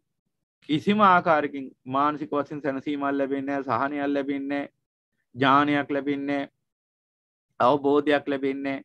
එහෙනම් අඥාන කමීම මිය මිය යණ්ඩයි සිද්ධ වෙන්නේ. එහෙනම් ඔබම කල්පනා කරලා බලන්න ඒ වගේ ස්වභාවයකටපත් නොවි මේ ලැබිච්ච ජීවිතයෙන් ප්‍රයෝජනයක් ගන්න පුළුවන් කියන එකම මොනතරම් වාසනාවත් ගැඹුරට හිතන්න ඕන මේ ධර්මයේ හිතන තරමටයි. ඒ කියන්නේ නුවණින් දකින තරමටයි නුවණින් මෙනෙහි කරන තරමටයි මේ ධර්මයේ ගැඹුරට අපිට කිමි දෙන්න පුළුවන්කම ලැබෙන්නේ ගැඹුරු ගැඹුරු දේවල් අපිට පේන්න පටන් ගන්නවා. ඒක නිසා පින්වතුනි නිරන්තරයෙන් ඒකයි කිව්වේ ධර්මයේ ගැන හිතන්න. රටේ ලෝකේ දේවල් ගැන හිතලා තේරුමක් නැහැ. ඒවට විසඳුම් දෙන්න පුළුවන් කමක් අපිට නැහැ. එහෙනම් අපි හිතන්න ඕන මෙන්න මේ දේ ගැන. මේ ධර්මයේ ගැන. ඌවා ගැන හිතන එක ආර්ය ශ්‍රාවකයන්ට තරම් වෙන දෙයක් නෙවෙයි. මොකද අනාර පුද්ගලයන්ටත් කරන්න පුළන් ඔය දේමනි. අනාර පුද්ගලයොත් කරන්න මොකද? රටේ තියෙන මොකාකාරි ප්‍රශ්නයක් අල්ලක නොය ගැන කතා කර කර කාලෙකනුව මිසක් මේ සියලු ප්‍රශ්වලින් නිදහස්සෙන්න්න පුළුවන් ක්‍රමයක් ගැන උන් කල්පන කරන්නේ කතා කරන්නෙත් නෑ එහෙම දෙයක් කියල දුන්නොත් ඒකට කන් දෙන්නෙත් නෑ එහෙනම් අනාර පුද්ගලයෝ කරන්නේ තොයිටිකම නම් පෘථග්ජනය කරන්නේ තොයිටිකම නම්. බුදුරජාණන් වහන්සේගේ ධර්මයට කන් දීලා ධර්මයෙන් අවබෝධය ලබන්නා බුද්ධ ශ්‍රාවකයන් වශයෙන් කටයුතු කරන පිරිස කරන්නේ toy ටිකම නම් දෙගොල්ලන්ගේ වෙනසක් නේ අවබෝධය. දෙගොල්ලම එකම දේ කරන්නේ. එතකොට මොකක්ද අවබෝධ වෙනස කියන්නේ? එතකොට මොකද්ද නිවන් දැක්කා කියන්නේ? දැන් රටේ ලෝකේ තියෙන පුරස්න දැක්කහම අපේ ගිනි ඇවිලෙනවා නම් හදවතේ. ඉතින් කෝ නිවනක් එතන? ඉතින් ඕකමනේ හැමදාම උනි සංසාරේ. ඉතින් එහෙම නිවන් එහෙම නොවෙන්න තැනට කටයුතු කරන එක නිර්වාණ මාර්ගය වඩනවා කිව්වේ. දැන් බලන්න රටේ ලෝකෙ මිනිස්සු මැරෙනකොට අනේ අපොයි කියලා වැළපෙන්න පුළුවන් හූල්ලන්න පුළුවන් පොළවේ පස් කන්නත් පුළුවන් අපට. බලන් ඉන්න කෙනාට පුළුවන් කියන්න අර බලන්නකො අර මනුස්සයාගේ සහවේදනීය තරම. මොන තරම් සහවේදනයක්ද? ඒ කියන්නේ අර සමාජෙ මැරෙන මේ යන මිනිස්සු දිහා බලලා තඬනවා වැළපෙනවා අනේ කී කී. දැන් එතකොට මේ සමාජය තමන් අඳුරන්නෙත් නැහැ සමාජයට පරිබාහිර පුද්ගලයෝ. ලෝකේ ජීවිතවල විවිධාකාර දුක් ගැහැට වලට මුහුණ දීලා ඒ මිනිසු මිය යනවා කියමුකෝ. ඒ දිහා බලාගෙන අනේ අපොයි අනේ අපොයි කිය කිය අපි වැළපෙනවා නම් තැවෙනවා නම් තමන්ගේ ජීවිතේ තමන්ගේ පවුල කෙනෙක්ට ඒ විපතක් ආවොත් එහෙම කොයිතරම් වැළපෙයිද? දැන් අර පරිබාහිර සමාජ මිනිස්සේ කර විදිහට දුක් විඳලා මැරෙනකොට අනේ අපොයි කියලා වැළපෙනවා. කරුණාවෙන් ඒ දිහා දකින්න ඕන. කරුණාවෙන් මේ සිදුවීම දකින්න ඕන. පිහිටක් වෙන්න පුළුවන් නම් පිහිටක් වෙන්න ඕන. ඒ ගැන නෙමෙයි මේ කියන්නේ. සමාජයේ ලෝකේ මිනිස්සුયો දුක් විඳිනකොට විපතට පත් වෙනකොට මරණයට පත් වෙනකොට අපි එකට හඬා වැළපෙනවා නම් තමන්ගේ ජීවිතේ තමන්ගේ පවුලේ තමන්ගේ නිවසේ කෙනෙක් මිය ගියොත් එහෙම කොහොම හඬා වැළපෙයිද? එතකොට ඒකට අවබෝධය කියනවා. ඉතින් මොකක්ද අවබෝධ කරගත්තේ අවසාන? අර බලන්න මල්ලිකා බන්දුල මල්ලිකා උපාසිකා මහෝපසිකා මහෝපාසිකා බන්දුල මල්ලිකා බන්දුල කියන ඇමතිතුමාගේ කොසෝ රජතුමාගේ බිරිඳගේ කොසෝ රජතුමාගේ මේ සමාන කොසෝ රජතුමාගේ ප්‍රධාන අමාත්‍යවරයාගේ බිරිඳ. කොසෝ රජතුමාගේ ප්‍රධාන අමාත්‍යවරයා තමයි බන්දුල ඇමති. බන්දුල සේනවි ඇමතිකමයි සේනවිකමයි දෙකම කරලා තියෙනවා. ඔහු ලිච්ඡවි රාජ්‍ය කෙනෙක් එකයි එතකොට ඒ බන්දුල ඇමතිගේ බිසව නැත්තන් ඒ ඔහුගේ භාර්යාව බන්දුල මල්ලිකාව බොහෝම ශ්‍රද්ධාවන්ත සෝවාන් ඵලලාභී උපාසිකාවක්. බලන්න ඇය තමන්ගේ සැමියයි දරුවෝ 32 දෙනයි මැරිලා වැටුණාමත් කම්පා වුන්නේ එහෙනම් බලන්න මොන තරම් අකම්පිත සිතක් සෝවාන් ඵලෙදිත් ඇයට තිබිලා තියෙනවද? කොච්චර උසස් විදියට ධර්මයේ නුවණින් මෙනෙහි කරලා තියෙනවද? එහෙනම් මේ ධර්මයේ තුලින් ලෝකයේ දකින්න කෙනාට කම්පාවක් නැහැ. බලන්නකො දැන් උන්වහන්සේට මේ ඒ ඒ ඒ ගෞරවනීය මහ උපාසිකාවට බලන්න පොඩක් කල්පනා කරලා තමන්ගේ සැමියයි දරුවෝ 32 දෙනයි. තමන්ගේ පවුල ඉතින් හිටපු ඔක්කොම මැරිලානේ. සැමියයි දරුවෝ 32 දෙනයි. 33 දෙනෙක් මැරිලත් ඇයට කම්පාවක් හටගත්තේ නෑ. එහෙනම් අපිට මේ රටේ ලෝකෙ මේ සුළු සුළු සිදුවීමක් දිහා බැලුවම කම්පාවක් හට ගන්නවනේ. කොච්චර දුරකට ධර්මයේ වඩපු කෙනෙක්ද කියලා බලා ගන්න පුළුවන් ඒකෙන්. ඒ තරම් චලනය වෙනවා නම් හිත මේ පරිබාහිර හේතු නිසා. එහෙනම් ඇත්තටම වැඩිලා නැහැ මාර්ගය. අචලිත වෙලා නැහැ සිත. ඉතින් මේ අන්න එකයි පින්වතුනි ධර්මයේ විවහාරිකයි. විවහාරය තුළින් අපි ධර්මයේ දකින්න ඕන. දැන් අපිට මේ ධර්මයේ පරිශීලනය කරන්න හොඳ හොඳ අවස්ථාවක් උදා වෙලා තියෙනවා. දැම් බලමු ඔබ ඔබේ ජීවිතය තුළින් බලන්න ඔබට මේ ලෝකෙ තියෙන ප්‍රශ්න ගැන කතා නොකර ඒ ගැන සාකච්ඡා නොකර ඒ දේවල් ගැන හොයන්න නැතුව කොච්චර කාලයක් ඉන්න පුළුවන්ද බල හොයන්නෙම අව හොයන්නම අවශ්‍ය නැහැ ඉතින් මුණ ගැහෙන මිනිස්සු ඇවිල්ලා එක එක ඒවා කියනවා අපි සමහර දේවල් අපි ඒක මතකයේ තබා ගන්න මොකද ධර්මයේ දේශනා කරනකොට බණපදයක් දේශනා කරන්න ආ මේ සිදුවීම හොඳයි මිනිසුන්ට කියන්න මේක උපමාවක් වශයෙන් උපමේයක් වශයෙන් නිදර්ශනයක් වශයෙන් දක්වන්න හොඳ නිසා සමහර සිදුවීම් අපි මතකේ තියාගන්න නිසා නැත්තම් ඇත්තටම ඇති වැඩක් නෙවෙයි. සියක් කෝටි අසක් කලේ මේ බඳු සිදුවීම් කොයිතරම් වාර්තා වෙනවද? ඔක්කොම දැනගන්න අපට උවමනාවක් තියෙනවද? පුළුවන්කමක් තියෙනවද? එහෙම දැනගත්ත කියලා ඇති වැඩක් තියෙනවා. ඉතින් එහෙනම් මොනවද ඔය හොයන්නේ? එනම් ආර්ශාවකයක් වසෙන් ඔබ බලන්න ඔබට පුළුවන්ද මේ රටේ ලෝකේ ගැන හොයන් නැතු ඒකැන්නේ රටවලෝක මොනවුනත් කවන්න අප අපේ පාඩුව ගමන යම කියන තැන මේ ආත්මාර්ථකාමී අදහසක්නේ මෙතන තියෙන්නේ. දැන් අර නැවක් ගිලෙනකොට නැවේ ඉන්න මිනිස්සුයෝ දැන් අපි නැවක් ගිලෙනවා මහා මූද නැද. එතකොට මේ නැවේ විශාල මිනිස්සු ගොඩක් ඉන්නවා. ඉතින් මේ මිනිස්සු මොකද කරන්නේ? දැන් හැමෝම මැරෙන බව දැනගත්තට පස්සේ තම තමන්ට කරන්න පුළුවන් දේවල් ගැන තම තමන් හිතනවා. සමහරු යාතිකා කරනවා. සමහරු යාඥා කරනවා. සමහරු මොනවා හරි තව දෙවියෙක්ට බාර වෙන්න පුළුවන්. සමුද්‍ර දෙවියන්ට හරි බාර වෙන්න පුළුවන්. සමහරු බාර හරකම් කරනවා. මොකද දැන් නැව ගිලෙනවා. සමහරු මුහුදට වස්තුව බිලි දෙන්න පුළුවන් අපි බේරගන්න මේ මුහුදේ යම්කිසි අක්ෂය දෙවියෙක් ඉන්නවනම් මේ වස්තුව ටික අරගෙන හරි අපිව බේරගන්න කියලා මුහුදට තමන්ගේ වස්තුව දන් දෙන්න පුළුවන්. පූජා කරන්න පුළුවන්, බිලි දෙන්න පුළුවන්. ওই විදිහට මේ නැවේ එක එක්කෙනා එක එක්කෙනා එක එක දේවල් කරනවා. දැන් එතකොට මෙතන අවබෝධයට පත්වෙච්ච මිනිසෙක් හිටියන එයා මොකක් කරයි? එයා පැත්තකට වෙලා තමන් අවබෝධ කරපු ධර්මය ගැන මෙනෙහි කරයි. ඊට වඩා දෙයක් කරන්න යන්නේ නැහැ උතන. වෙන කිසිම දෙයක් කළා තේරුමක් නැහැ නැව ගිලෙනවා. ඉතින් නැව ගිලෙනවා නම් අපි ඥානවන්තව කල්පනා කරන්න ඕන වඩාත්ම හොඳ දේ මොකක්ද? දැන් මරණයටපත් වෙනවා. මරණයටපත් වෙනකොට එහෙනම් මේ අහිමි වෙන නැව හරි මේ ගිල්ල යන නැව හරි මේකේ තියෙන වස්තුව ගැන හරි මේකේ ඉන්න මිනිස්සුયો ගැන හරි හිත හිත කාලය ගත කරලා තේරුම් නැහැ. අපි මෙහෙම අපිත් මේ නැවේ ගිලෙනවා. අපි එහෙම ගිලෙන ගම අනේ බලන්නකෝ අර මිනිස්සුත් නැවේ ගිලෙන්නයි යන්නේ. අර මිනිස්සු ටිකක් දැන් නැවත් එක්ක මුහුදුපත් වෙන්නයි යන්නේ අනේ මොන හරි කරන්නකෝ අනේ මේ බලන්නකෝ නැව ගිලෙනවනේ කිය කි හිටියට හරියනවා ඒක කළ යුත්තක්ද කල්පනා කරලා බලන්න තම තමන්ගේ ගැලවීම තමන්ගේ අතේ තියෙන අනුන්ගේ ගැලවීම තමන්ගේ අතේ නෑ. එහෙම ධර්මයක් බුදුරජාණන් වහන්සේ දේශනා කරන්නේ තමන්ට පිහිට වෙන්න පුළුවන් තමන්ට විතරයි. වෙන කිසිම කෙනෙක්ට තමන්ට පිහිට වෙන්න බෑ. කල්යාණ මිත්‍රයටත් කරන්න පුළුවන් මාර්ගේ පෙන්ලා දෙන එක විතරයි. මාර්ගය ඇදගෙන යන්න බෑ. එහෙනම් පිංගුතුනි තමන්ගේ පිහිට තමන්. එහෙනම් අපි බලන්න ඕන මේ ධර්මය ගැන මිනිහි කරන අවස්ථාවක් ලැබිච්ච වෙලා අපි මේ මොනවා ගැනද කල්පනා කරන්නේ? රටේ ලෝකේ නැති දේවල් ගැන. ඒව ගැන කල්පනා කර කර කාලේ කනකොට අපිට මේ නිර්වාණ මාර්ගය වඩා පුහුණු කරගන්න ලැබිච්ච කාලය නේද මේ තප්පරෙන් තප්පරේ අඩු වෙලා යන්නේ කියලා. අන්න එහෙම දකින්න පුරුදු වෙන පිඟුතුනේ ප්‍රශ්න ගැන මම නැවත නැවත මේ කෙටියෙන් නමුත් නැවත නැවත සඳහන් කරන්න සිද්ධ වුණේ කීප සැරයක්ම ඔය ප්‍රශ්නේ ඒ තරම්ම ප්‍රශ්නයක් වෙලා තියෙන නිසා. දැන් මේ අපි මේ බණ අහන සහ මේ ධර්ම මාර්ගේ ගමන් කරන පින්වතුන්ට පවා ওই ගැටෙන් ගැලවෙන්න බැරි වෙලා තියෙනවා. ධර්මයේ ධර්ම පිළිබඳ යම්කිසි මාන අවබෝධයක් තිබුණත් ඔය ඔය සංසාර ගැටේට අහු වෙන්නේ. ඔය අන්තෝ ජට, බහි ජට, ජටය පටිතාපජා කිව්ව ආකාරයෙන් ඇතුළෙත් ගැට පිටත් ගැට, ගැට පිටත් ගැට වැදිලා තියෙන මේ සංසාරේ ඔය ගැට ගැන කතා කර කර ඉන්නවා.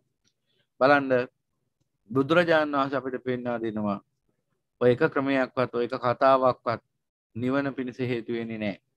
එහෙනම් නිවන පිණිස හේතු වෙන යම් කිසි ධර්මයක් ඇත්නම් අන්නේ ධර්මයට අපි කන් දෙන්න ඕන. ඒ ධර්මය අපි දරා ගන්න ඕන. අන්නේ ධර්මය ගැන අපි කතා කරන්න ඕන. ඒක තමයි අද දවසේ ආරම්භයේදීම ඔබට ලබා දෙන පණිවිඩය. ඒ වගේම බුදුරජාණන් වහන්සේ අපට පෙන්වා දෙන මේ සමගම මෙන්න මේ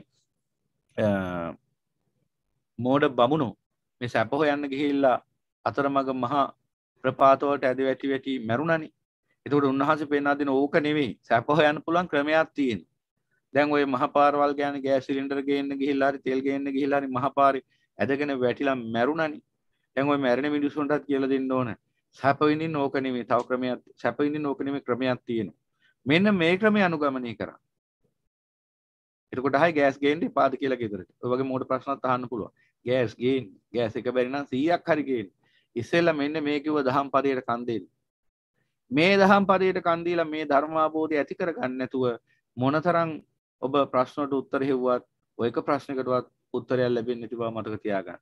ඔක්කොම ප්‍රශ්න ගොඩක් විතරයි తాවකාලිකව පොඩි නිකන් ලාමක විසඳුමක් පෙන්නයි එච්චරයි. ප්‍රශ්නේ අවසන් ඉන්නේ ප්‍රශ්නේ අවසන් ඉන්නේ ඔබ හොයන්න ඕන කුසගින්න ඒ මොහොතේ නැති කරගන්න ලිප ගිනි දල්වන්න ගෑස් ටිකක් හොයාගන්න කොහොමද කියලා නෙවෙයි.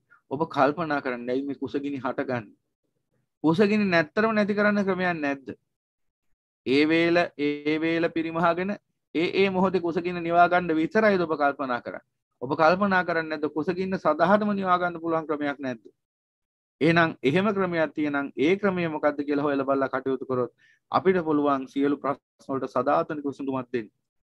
එහෙම නොවන තාක්කල් අපි හැමදෑම නිකම් බොහෝම ලාමක විදිහට කල්පනා කරලා මතු පිටින් ප්‍රශ්නට උත්තර හොයනවා. අද රටක් වශයෙන් රජුගේ ඉඳලා රටවැසි පහළම රටවැසියාටම වෙලා තියෙන ඕකයි. අදත් අපි හොයන්නේ බොහෝම తాවකාලික විසඳුමක්. මේ මොහොතේ විසඳුමක්. එතනින් එහාට හෙන ගහලා ගියත් කමක් නැහැ කියන මානසිකත්වයෙන් ඉන්නේ. නිසා බෞද්ධ වුණාට ඥානවන්ත මිනිස්සු වුණාට උපතින් අඥාන විදිහටමයි කටයුතු කරන්නේ. එහෙනම් භාග්‍යතුන් වහන්සේ පෙන්වා දෙනවා අහංචකෝ භික්කවේ අරියස්ස විනේ උදයගාමිනින් පටිපදම් පඤ්ඤාපේමි. යා ඒකාන්ත නිබ්බිදාය විරාගාය නිරෝධාය උපසමාය අභිඤ්ඤාය සම්බෝධාය නිබ්බානාය සංවත්තಂತಿ මේ ආරවිනය තුල තියෙනවා ඒකාන්ත වශයෙන් මේ උදයගාමිනී ප්‍රතිපදාවක් මෙන්න මේ ප්‍රතිපදාව අනුගමනය කරනවා නම් කෙනෙක් ඒකාන්ත වශයෙන්ම සැපයටපත් වෙනවා කියලා භාගතුන් වහන්සේ අපිට පෙන්වා දෙනවා සියලු සංසාදුකෙන් නිදහස් වෙන්න යුතුම ප්‍රතිපදාව අපට උපකාර වෙනවා එහෙනම් මොකද්ද මේ නිබ්බානගාමිනී පටිපදා එහෙම නැත්නම් උදේගාමිනී පටිපදා ඔන්න අහගන්න. ඔබ ඒ පටිපදාව තුළ ඉන්නවා නම් ඔබ මේ ලෝකේ මහා වාසනාවන්තයෙක්. කතමාච කතමාවස්ථා භික්කවේ උදේගාමිනී පටිපදා.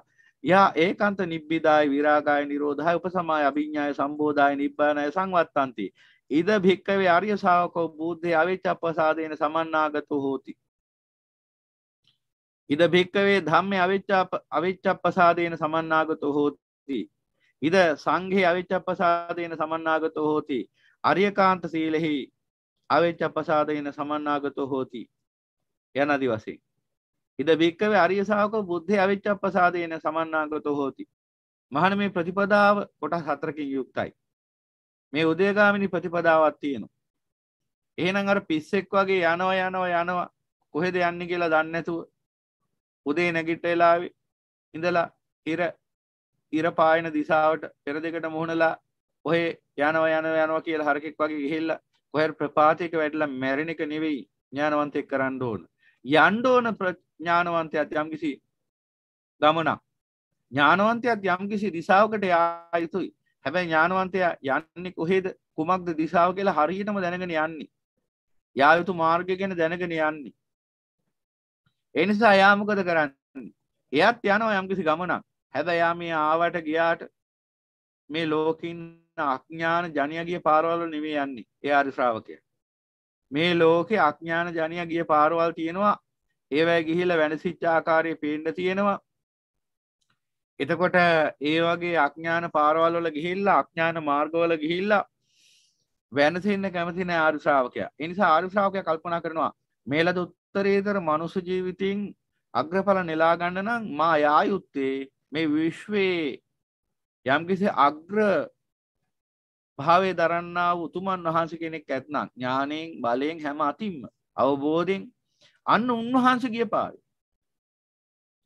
මේ අඥානයෝ ගිය පාරක පාරක නෙවෙයි යන්නේ මම. මම යන්නේ මේ විශ්වයේ අග්‍ර මහා ඥානවන්තයා නන් වහන්සේ ගිය පාරේ. උන්වහන්සේ වැඩිය පාරේ. එහෙනම් උන්වහන්සේ ගත්ත යම්කිසි මාර්ගයක් ඇත්නම් මමත් ඒ මාර්ගය අනුගමනය කරන්න. අන්න බුද්ධං සරණං ගච්ඡාමි. අන්න බුද්ධං සරණං ගච්ඡාමි බුදුරජාණන් වහන්සේගේ පිළිසරණ ලබන්න ඒ සරණ බලාපොරොත්තුවෙන් උන්වහන්සේ ගත්ත මාර්ගය අනුගමනය කරන. එනගේ නිර්වාණ මාර්ගය අනුගමනය කරනවා. ඒ අවසානයේ නිෂ්ඨාව පරම නිෂ්ඨාව වෙන්නේ නිවන සදාතනික පරිනිර්වාණය. එහෙනම් ඒ සදාතනික පරිනිර්වාණය කරා ගමන් කරනවා බුදුරජාණන් වහන්සේ අනු උන්වහන්සේ ගත්ත මාර්ගය අනුගමනය කරමින් බුද්ධං සරණං ගච්ඡාමි. උදේ ඉඳලා රෑ වෙනකම් බුද්ධං සරණං ගච්ඡාමි කියලා කිව්වට වචනින් විතරයි බුද්ධන් සරණං ගච්ඡාම වැඩ කරන්න ගියහම මාරය මාරයා සරණං ගච්ඡාම කියලා තමයි යන්නේ. ඒ කියන්නේ අපි ධර්මයේ ගැන කතා කරනවා බණ අහන ඔක්කොම කරනවා. ඔක්කොම කරලි ඉවරලා ඒ කියන්නේ හිතන්න අවස්ථාවක් ආවහම ක්‍රියාත්මක වෙන්න අවස්ථාවක් ආවම අපි අර ලෝකේ තියෙන කල්ලාගෙන ආපහු ඒ ගැන කතා කරනවා. අනිත් අයටත් වද දෙනවා, කරදර කරනවා. ඔබලත් මේ විදිහට කටයුතු කරන්න කියලා. ඔන්න බලන්න. ඉතින් ඕක නෙමෙයි වෙන්න ඕන. එහෙනම් බුදුරජාණන් වහන්සේ පෙන්නනවා මොකද්ද? ඔබ එහෙම හැවිදින්න එපා හතර අතේ. ඔබ යා යුතු ගමනක් තියෙනවා. හැබැයි යා යුතු ගමන හරියටම දිශාව දැනගෙන යා යුතුයි. පාර දැනගෙන යා යුතුයි. එහෙමනම් අන්න බුද්ධං සරණං ගච්ඡාමි. අන්න ඒ බුද්ධ ශ්‍රාවකයාට බුදුරජාණන් වහන්සේ පිළිබඳව අවිච්ඡ ප්‍රසාදය හට ගන්නවා. බණ අහලා අවබෝධයට පත් වෙන බුදුරජාණන් වහන්සේ අර පිහිටක් නැහැ කියලා අපට. අන්න එදාට මේ මිනිසයා බුදුරජාණන් වහන්සේගේ සරණ අනුගමනය කරමින් උන්වහන්සේගේ පිළිසරණ ලබා ගැනීමේ අදහසින් උන්වහන්සේ අනුව ගමන් කරන පුද්ගලයෙක් බවට පත් වෙනවා. බුද්ධ සරණං ගච්ඡාම. එතකොට කිසිම කෙනෙක්ට නැවත වෙනස් කරන්න බැරි බුද්ධ අවිච ප්‍රසාදයේ තුල ඒ සිත තුල ඇති වෙනවා. නිකම්ම නෙවෙයි දැන් මෙහෙම බණ අහගෙන ඉන්නකොට. ඒක ඉස්සෙල්ලම් බණ අහන්න ඕන. බණ අහගෙන ඉන්නකොට ඔන්න ධර්මාභෝධයත් එක්ක බුද්ධ අවිච ප්‍රසාදය ඇති වෙනවා. ඒ කියන්නේ කිසිම දවසක නැවත බුදුරජාණන් වහන්සේ කෙරෙහි හටගන්න මේ ප්‍රසාදය නැති කරන්න බෑ කිසි කෙනෙක්ට. ඔබේ බෙල්ල කැපුවත් ඇවිල්ලා කාටවත් ඔබේ ශ්‍රද්ධාව නැති කරන්න බැරි තැනක නම් ඔබ ඉන්නේ ඔබ මහා වාසනාවන්තයෙක් මේ විශ්වී ඕනම් බෙල්ල කපහම් මගේ ශ්‍රද්ධාව නැති කරන්න ඔබට බෑ කියලා කියන්න පුළුවන්. ඒ හදවතින්ම කියන ප්‍රකාශයක් නම්. ඉතින් ඔබ මහා වාසනාවන්තය මොකද බෙල්ල කපන සැනින් ඔබ අප්‍රමාණු සැපයකට පත්වෙනවා ස්වර්ග සම්පත්තියට හෝ මෝක්ෂ සම්පත්තියට ඒ ඒ මට්ටමට මග වැඩිච්ච ආකාරය අනුව. ඒසා කිසිම දවසක එබඳු ශ්‍රාවකයේ දුකට පත්වෙන්නේ නැහැ. ඒ නිසා පින්වතුනි එහෙනම් අන බුද්ධ අවිච්ඡ ප්‍රසාදය ඔබ තුළ ඇති වෙන්න ඕන. බුද්ධ අවිච්ඡ ප්‍රසාදය කියලා කියන්නේ කවුරුවත් කියන නිසා නෙවෙයි. කාගෙන්වත් අහගත්ත නිසා නෙවෙයි. ආත්තම්මගෙන් සියගෙන් කතන්දර අහගෙන බුදුරජාණන් වහන්සේ කෙරෙහි ඇතිවෙච්ච ගෞරවයක් ප්‍රසාදයක් නෙවෙයි. ධර්මය අහලා ධර්මයට කන් දීලා මේ බඳු ධර්මයක් දේශනා කරන්න පුළුවන් මේ විශ්වයේ අසමසම ඥානවන්තයන්න් වහන්සේ නමකට විතරයි. ඒ මහා ඥානවන්තයන්න් වහන්සේගේ අවබෝධය මෙබඳුයි. මේ අවබෝධයෙන් උන්වහන්සේ මේ ධර්මයේ දේශනා කළේ අප අප කෙරෙහි මෙන්න මේ මහා කරුණාවෙන්. ඉගැන මහා ප්‍රඥාවෙන් මහා කරුණාවෙන් උන්වහන්සේ හා සමාන කෙනෙක් නෑ. උන්වහන්සේ හැර අපට පිහිටක් නෑ අපේ එකම හිතවතානන් වහන්සේ. අපගේ එකම කල්්‍යයාන මිත්‍රයණන් වහන්සේ අපගේ එකම ගැලවුම් කරුවාණන් වහන්සේ උන්වහසේ අපි ගලවන්න ඉන්න හැබැ ගලවන්න මාර්ගය පෙන්වල දෙන්න. අපගේ එකම විමුක්ති දායකයණන් වහස උන්හසපට විමුක්තිය ප්‍රධානය කරන්නේ නෑ බන්දේසික තියලා. උන්වහන්සේ හැබැ විමුක්ති උදාකර ගැනීම ඒකා නිර්වාණ මාර්ග නිවැරදි මාර්ගකට පෙන්වාදී. එනම් ඒ අනුසාරයෙන් ගන්න බුදුරජාණන්සේගේ ධර්මය අහනකොට අපිට උන්වහන්සේ පිළිබඳ යම්කිසි ගෞරවයක් ප්‍රසාදයක් ඇති වෙනවා හිතේ. විශ්වාසයක් වර්ධනය වෙන හිතේ. ඒකට තමයි අවිච්ඡ ප්‍රසාදය කියන්නේ. අවිච්ඡ ප්‍රසාදය කියලා කියන්නේ අංශු මාත්‍රයක්වත් අඩු නොවි මොහොතින් මොහොත වැඩෙන ප්‍රසාදයක් කියන එකයි පදේ අර්ථය. එහෙනම් ඒ ප්‍රසාදය ඇති වෙන්නේ මේ ලෝකේ උතුම් වූ චතුරාර්ය සත්‍ය අවබෝධ කරගත්තා බුද්ධ ශ්‍රාවකයන්ට විතරයි. අනිත් ශ්‍රාවකයන්ට තියෙන අමූලික ශ්‍රද්ධාවක් ඒක මොහොතින් මොහොත විචාලනය චලනය වෙන එකක්. විචල්යන්ට ලක් වෙන එකක් අඩු වැඩි වෙන එකක්. සමහරට අඩුම් වෙලා ගිහිල්ලා වෙනත් ශාස්ත්‍රවරයෙක් තමන්ගේ ශාස්ත්‍රය වශයෙන් නියත මිත්‍යා දෘෂ්ටියට බැහැගෙන වෙනත් ශාස්ත්‍රවරයෙක්ගේ සරණ යන කෙනෙක් බවට පත් වෙන්න පුළුවන්. ඒ තරම්ම සෙලවෙන කිසිම පදනමක් නැති ශ්‍රද්ධාවක් තමයි අර සාමාන්‍ය ලෝකයා තුළ තියෙන අමූලික ශ්‍රද්ධාව කියලා කියන්නේ. එහෙනම් ඔය බහුතරයක් දෙන පින්කම් කරන්නේ ගොඩාක් ඔය ධර්මය ගැන සාකච්ඡා කරන්නේ ධර්මයේ ඉන්න වගේ පෙන්වන්නේ අවිච්ඡ ප්‍රසාදයෙන් නෙවෙයි. එහෙම ගත්තාම ඇත්තටම තියෙන අමූලික ශ්‍රද්ධාවක් එතන. අවිච්ඡ ප්‍රසාදය කියලා කියන්නේ බුද්ධ වචනේ හැර වෙන කිසිවක් විශ්වාස කරන්නේ. ඒ බුද්ධ වචනයට අනුකූලව තමන්ගේ ජීවිතය හැඩගස්වා ගන්න. මොකද බුදුරජාණන් වහන්සේ දැක්ක කෙනා. දැන් මෙහෙම හිතන්නකෝ උදාහරණයක්. යම්කිසි රෝගයක් තියෙනවා මිනිසෙට. එතකොට මේ රෝගයේ තියෙන මිනිසයාට මේ රෝගය සුව කරගන්න බෙහෙතක් ඕන. මේ බෙහෙත හොයාගෙන යනවා වෛද්‍යවරු ගාන කිහිප දෙනෙක් ගාවට. මෙහෙම යනකොට එක එක වෛද්‍යවරු මේ බෙහෙත ගැන දේශනා කරන වෛද්‍යවරු මේ බෙහෙත ගැන ප්‍රකාශයට පත් කරන එක එක ආකාරයෙන් මෙහෙම මේ ලෙඩේ හොඳ කරගන්න මෙහෙම මේ ලෙඩේ හොඳ කරගන්න මෙහෙම මේ ලෙඩේ හොඳ කරගන්න කියලා. එතකොට ওই විදිහට එක එක වෛද්‍යවරු බෙහෙත එක එක බෙහෙත් කිව්වට ඒ බෙහෙත් ඕනනම් තමන් අනුගමනය කරලත් බලන ඒ ප්‍රතිඵලයක් ලැබුණේ නැහැ. එවන් ලැබුණේ නැහැ ප්‍රතිඵලයක්. ඉතින් එතකොට මේ වෛද්‍යවරු ගැන තියෙන විචිකිච්ඡාවක්. අනේ මේ වෛද්‍යවරු ඇත්තටම වෛද්‍යවරුද? ඇත්තටම මේ අය මේ බෙහෙත දැනගෙනද කිව්වේ? කාගෙන් හරි අහලාද කිව්වේ? නැත්තම් ඔවුන්ට හිතට හිතට එන බෙහෙතක්ද කිව්වේ? ඔවුන්ට කීයක් හරි සල්ලි හොයාගන්න කරපු මේ ප්‍රයෝගයක්ද මගෝඩියක්ද මේක කියලා කල්පනා කර කර ඔහොම යනකොට ඇත්තටම වෛද්‍යවරයෙක් හම්බ වෙනවා. මේ වෛද්‍යවරයා සා කල්ලෙම්ම සුදුසුකම්ලත් වෛද්‍යවරයෙක් ඒ වගේ මේ දීපු බෙහෙතෙන් අනිවාර්යයෙන්ම රෝගී සුව වෙනවා. අනිවාර්යයෙන්ම මේ රෝගී සුව වෙනවා දැන්.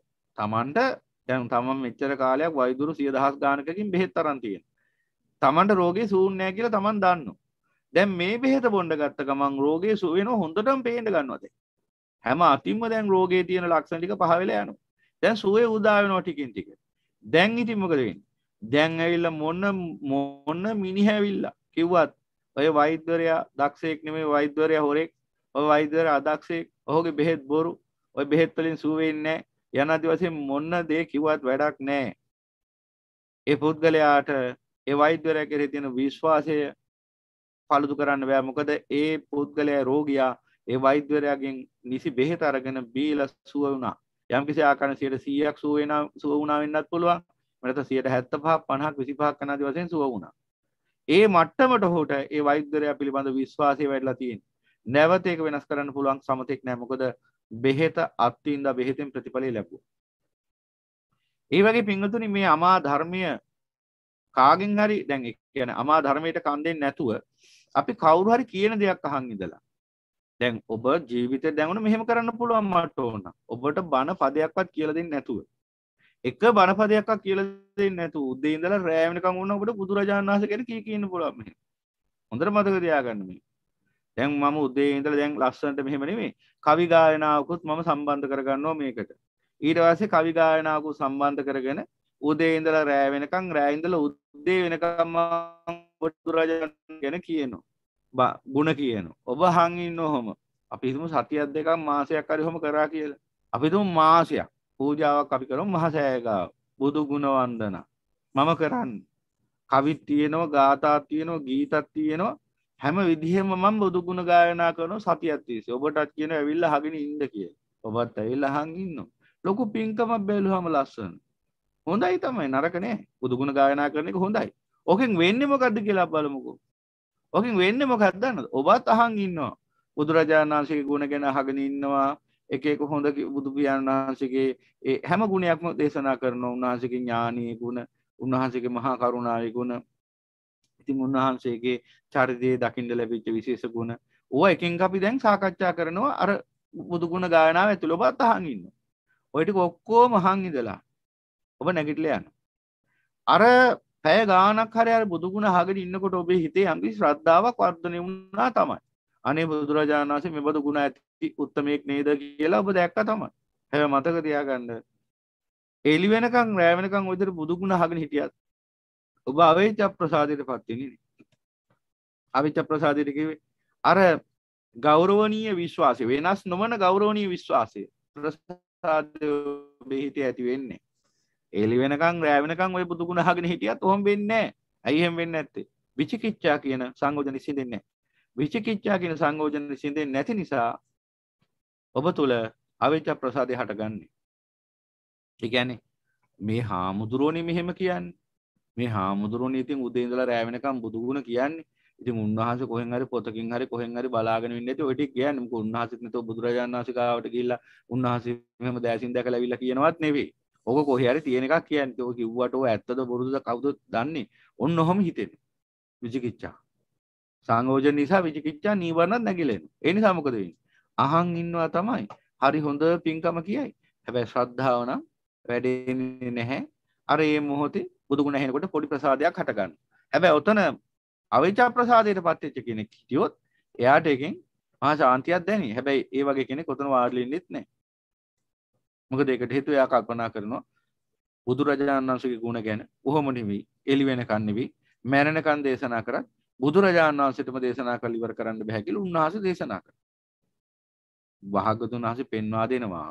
යම්කිසි සම්මා සම්බුදු පියාණන් වහන්සේ නමක් යම්කිසි සම්මා සම්බුදු පියාණන් වහන්සේ නමක් වෙන සියලුම ධර්ම දේශනා කරන එක පැත්තකින් තියලා බණ දේශනා කරන එක පැත්තකින්ම තියලා නවරහදී බුදුගුණ වලින් එක බුදුගුණයක් අරගෙන ඒ බුදුගුණය විග්‍රහ කරමින් හිටියොත් උන්වහන්සේ සම්මා සම්බුදු පියාණන් වහන්සේගේ ආයුෂ කාල අවසන් ආයුෂ කාලය අවසන් වෙනවා. නමුත් අර බුදුගුණය විග්‍රහ කරලා අවසන් වෙන්නේ නැහැ කියලා. එහෙනම් නවයෙන් එකක් අරන් නවයෙන් එකක් අරගෙන සම්මා සම්බුදු පියාණන් වහන්සේගේ ජීවිත කාලය අවසන් වෙනකන් ඕක සජ්ජායන කර කර හිටියත් ඕකේ හොඳ කිය කිය හිටියත් වර්ණනා කර වර්ණනා කර කර හිටියත් සම්මා සම්බුදු පියාණන් වහන්සේටත් බැරි නම් එක සම්මා සම්බුදු පියා එක සම්මා සම්බුදු ගුණයක් විග්‍රහ කරන්න අර්ථකථනය කරලා විවරණය කරලා අවසන් කරන්න අපි ඒ දේ කරන්න හදන්නේ ඇයි? අන බලන්න අපි ධර්මයේ දැක්කේ නැති කමයි. බුදුරජාණන් වහන්සේ පෙන්වා දුන්නේ මගේ ගුණ වර්ණනා කර කර ඉන්න කියලා නෙවෙයි. උන්වහන්සේ පෙන්වා දුන්නේ මා දේශනා කරපු ධර්මයට කන්දේ. ඒ ධර්මය තුලිනුයි නුඹලා නිවැරදි වෙන්නේ. ඒ ධර්මය තුළිනුයි මේ තමන් තුළ පවතින මේ අනවබෝධය අන්ධකාරය පහවෙලා යන්නේ. අවබෝධයටපත් වෙන්නේ. එහෙම නැතුව මා ගැන හොඳ කී කී හිටියට නෙවෙයි. දැන් බලන්න වෛද්‍යවරයෙක්ගෙන් බෙහෙත් ටික ගෙනල්ලා බෙහෙත් ටික බොන්නේ නැතුව උදේ ඉඳලා රෑ වෙනකන් වීණාවක් තියාගෙන තබ්ලාවකුත් තියාගෙන ಗುಣ ගායනා කර කර ඉන්නවර වෛද්‍යවරයාගේ. ලෙඩේ හොඳ වේද බල. වෙන්නේ නැහැ. වෛද්‍යවරයාගේ බෙහෙත් ගෙනල්ලා බෙහෙත් ටික බොන්නේ නැතුව මේසෙට තියලා බෙහෙත් ටික වෛද්‍යවරයා පිළිබඳ කවි පන්තියක් ගහලා රටේම බෙදා හරිනවා. වෛද්‍යවරයාගේ ගුණ කියලා. ලෙඩේ හොඳ වෙයිද? වෙන්නේ නැහැ. ඉතින් ඔන්න ඔය විදිහට බුදුරජාණන් වහන්සේ පිළිබඳ අවිච ප්‍රසාදය ඇති කරන්න යමෙක් උත්සාහ කරනවා නම් ඒක නිෂ්ඵල වෑයමක්. ඒක නිෂ්ඵල වෑයමක්. එතකොට එයා තුල ඇති වෙන්නේ මොන ශ්‍රද්ධාවද? අමූලික ශ්‍රද්ධාව. ඒ කියන්නේ තව කෙනෙක් කියන නිසා අහන් ඉඳලා දැනගත්තා වූ දෙයකින් ඇතිවෙච්ච ශ්‍රද්ධාව. එහෙම නැතුව තමන් ධර්මයේ නුවණින් දැකලා මේ විශ්ව අග්‍ර මහා ශාස්තෘතුමාණන් වහන්සේ උන්වහන්සේගේ ගුණය ඥානය බලය මෙබඳු යනාදි වශයෙන් තම තමන්ගේ නැනපමට ගෝචර වෙලා ඒ ඇති වෙච්ච ගෞරවනීය ශ්‍රද්ධාවක් නෙමෙයි පිංගුතුනි. එහෙනම් බලන්න මේ කාරණා විශේෂයෙන් පැහැදිලි කරන්නේ ඇයි? දැන් ඔබ බණ අහනවා. දැන් මෙතනත් ඉන්න අපේ පිංගුතුන් යම්කිසි ප්‍රමාණයක් ඒ වගේ මේ මාධ්‍ය ඔස්සේ මේ ධර්මයට කන්දෙන පිරිසක් ඉන්නවා. දැන් බලන්න ඔබ කොච්චර කාලෙක ඉඳලා බණ ඇහුවද? කොච්චර බණහුවත් ඔබට ඇත්තටම බුදුරජාණන් වහන්සේ පිළිබඳව ඒ ගෞරවනීය ප්‍රසාදේ බුදු පියාණන් වහන්සේ පිළිබඳව ගෞරවයක් තියෙනවා. ඒ ගෞරවය ගැන නෙමෙයි කියන්නේ. කමූලික ශ්‍රද්ධාව ගැන නෙමෙයි කියන්නේ. තියෙනවද විශ්වාසයක් බුදුරජාණන් වහන්සේ දේශනා කරපු ධර්මය අපි අනුගමනය කරන්න ඕන ඒකටයි මේ ඉපදිලා ඉන්නේ කියලා. එහෙම තියෙනවද විශ්වාසය? අන්න අවිජ ප්‍රසාද. අන්න සෝවාන් පුද්ගලයාගේ ලක්ෂණ මේ ලෝකෙ. වෙති සෝවාන් පුද්ගලයෙක් අඳුරගන්න එච්චර අමාරු වෙන්නේ නැහැ ධර්මයේ පැත්තෙන් බැලුවොත් වෙන වෙන ක්‍රම වලින් හොයන්න ගියොත් නම් හොයාගන්න හම්බෙන්නේ නැහැ ඒ කියන්නේ සෝවාන් ඵලයට පත් වුණා කියන්නේ යාගේ චින්තනය එයාගේ ප්‍රතිපදාව ජීවන චර්යාව ඒ දෙකම නිවන පැත්තට පරිවර්තන වුණා කියන එක. එහෙනම් අන්න සෝවාන් පුද්ගලයාගේ ඉඳලා තමයි විශ්වාස කරන්න පටන් ගන්නෙ මේ උතුම් වූ මනුස්ස ජීවිතය ලැබුණේ නිවන් දකින්න මිසක් වෙන වැඩ කරන්න නොවන බව. එහෙනම් ඒ අවබෝධය ලැබිලා නම් තියෙන්නේ ඔබට ඔබ මහා භාග්‍යවන්තයෙක්. එහෙනම් ඔබ බුදුරජාණන් වහන්සේව දැකලායි තියෙන්නේ. ආය අමුතෙන් ඔබට බුදුරජාණන් වහන්සේව පෙන්ලා දෙන්න අවශ්‍ය නැහැ. මොකද ධර්මයේ දැක්කනම් චතුරාර්ය සත්‍ය ධර්මයේ දැක්කනම් ඒ සමගම බුදුරජාණන් වහන්සේව තමයි දකින්නේ මේ මහා අවබෝධය අපට සම්මා සම්බුදු පියාණන් වහන්සේ වෙතින් වෙන කවරෙක් වෙතින් ළඟා වෙන්නද සම්මා සම්බුදු පියාණන් වහන්සේ අප වෙනුවෙන් ඒ ඒ හා සමාන ඒසා කැපකිරීමක් කරලා මේ ධර්මය අවබෝධ කරලා දේශනා කරේ නැත්නම් අද අපි මොනතරම් අන්ධකාරයකද යනාදි වශයෙන් ධර්මයේ දකිමින් බුදුරජාණන් වහන්සේ පිළිබඳ අවිජ්ජා ප්‍රසාදය ඇති වෙනවා. ඒ සමගම මොකද වෙන්නේ? ධම්මේ අවිජ්ජා ප්‍රසාදු සමන්නාගතෝ හෝති. ධර්මයේ පිළිබඳවත් අවිජ්ජා ප්‍රසාදය ඇති වෙනවා. ඒ කියන්නේ මේ ධර්මයේ හැර අපිට පිහිටක් නැහැ කියන විශ්වාසෙට. එදාට මොකද වෙන්නේ? ඒ ධර්මයෙන් පිහිට හොයන හැරෙන්න වෙන කිසිමකින් පිහිටක් හොයන්නේ නැහැ බුද්ධ ශ්‍රාවකයා. දේවාල පල්ලේ ගිහිල්ලා දෙවියන්ට පළතුරු පූජා කරන්න හරි. එහෙම නැත්නම් ඔය කට්ටඩියෙන්ගෙන් එහෙම නැත්නම් ඔය විවිධාකාර ඔය යන්තර ගුරුකම් සාස් ඔය එක එක ශාන්ති කර්ම යාතු කර්ම මේ දේවල් එහෙම නැත්නම් වෙන වෙන එක එක මිත්‍යා දෘෂ්ටි අන කියනවා අර ගහ ගාවට ගිහිල්ලා ඉවර වෙලා අන්න මොනවා හරි පූජාවක් කරා නම් අන්න ඔයාලගේ බලාපොරොත්තු ඉෂ්ට වෙනවා. අන්න අර ගිහිල්ලා අතන සොහොනක් තියෙනවා අතන ස්මාරකයක් තියෙනවා. එතෙන්ට ගිහිල්ලා ඔයාලා බාර වෙන්න. බාර වුණාම එතෙන්ට ගිහිල්ලා පහන් පත්තු කරන්න පහන් හැටක් පත්තු කරන්න. එහෙම නැත්නම් ඒකට කිරිය හරියක් බාර වෙන්න. එහෙම නැත්නම් මොකක් හරි බාර වෙන්න. ওই දේවල් කරාම ඔයාලගේ ප්‍රාර්ථනා ඉෂ්ට සාධනෙ වෙනවා. මෙන්න මේ වගේ අඥාන මිත්‍යා දෘෂ්ටි කතාවට අහු වෙනවා නම් යමෙක්. ඔහු චතුරාර්ය සත්‍ය ධර්මය පිළිබඳව ඔහුට තියෙන අනාබෝධය නිසා එහෙම වෙන්නේ. දැකලා නැහැ ධර්මයේ. ඒකයි කිව්වේ බණ ඇහුවට වැඩක් නැහැ ධර්මයේ දකින්න ඕන ප්‍රඥාවෙන්. මේ ආරාධනා කරන්නේ ධර්මයේ දකින්න කියලායි. ඒ කියන්නේ බණ අහගෙන හිටියට මදි. ඒකයි නුවණින් තේරුම් ගන්න. අහපු ධර්මයේ නැවත නැවත නැවත නුවණින් නොනවත්තාම හිතන්න ඕන. නුවණින් නොනවත්තාම හිතන්න ගත්තට පස්සේ තමයි මෙන්න මේ ධර්මය කියන මාර්ගයේම හිත පිහිටලා උතුම් වූ සෝවාන් ඵලයට පත් වෙනවා. ඒ සෝවාන් ඵලයට පත් වෙනකම්ම අත්හැර යා යුතු ගමනක් තියෙනවා. ඉතින් සෝවාන් ඵලෙන් පස්සේ අත්හරින්න කියලා නෙමෙයි කියන්නේ. අඩුම ධර්මයේ තෙන්ට එන්නේ. මේ කියන්නේ සෝවාන් පුද්ගලයෙක් ගැන මේ භාගතුන් වහන්සේ මේ පෙන්වා දෙන්නේ. මේ පෙන්වලා දෙන්නේ මේ බුද්ධ ධම්ම සංඝ සහ ආර්යකාන්ත සීල කියන මෙන්න මේ අංග හතර කෙරෙහි අවිච්ඡ ප්‍රසාදය ඇති කෙනා කවුද සෝවාන් පුද්ගලයා. එන සෝවාන් කියලා කියන්නේ මෙලවත් අප්‍රමාණ දුකකින් නිදහස්. මොකද මෙලව වශයෙන්ම සෑහෙන දුක් ගොඩකින් නිදහස් වෙනවා. මොකද විසම රාගේ විසම දේශේ විසම මෝහය අපායගාමී රාග දේශ මොහ දුර වෙලා යන නිසා හිතේ පවතින ඒ කැළඹීම සෑහෙන දුරකට අඩු වෙලා යනවා. හිතේ පවතින වික්ෂිප්ත භාවයේ සෑහෙන දුරකට අඩු වෙලා යනවා. සක්කාය දිට්ඨි විචිකිච්ඡා සීලබ්බත පරාමාස කියන සංයෝජන පිදිච්ච නිසා ඔහුගේ චින්තනය අති බොහෝ දුරකට සීටසියක් යන්න බෑ. සෑහෙන දුරකට නිවැරදි වෙන රිජු වෙනවා. සීටසිය අම්ම නෙවෙයි. නමුත් පෘථග්ජනයට වඩා අතිශය රිජු භාවයක් ඇති වෙනවා ඔහුගේ චින්තනය තුළ. නිර්වාණ ධර්මය දැක්කට පස්සේ. එහෙනම් පිටුතුනේ අන්නේ ධර්මයයි අපි අවබෝධ කරගන්න ඕන. අන්න එතකොට ධම්මය අවිච්ඡප්පසාදෝ ඇති වෙනවා.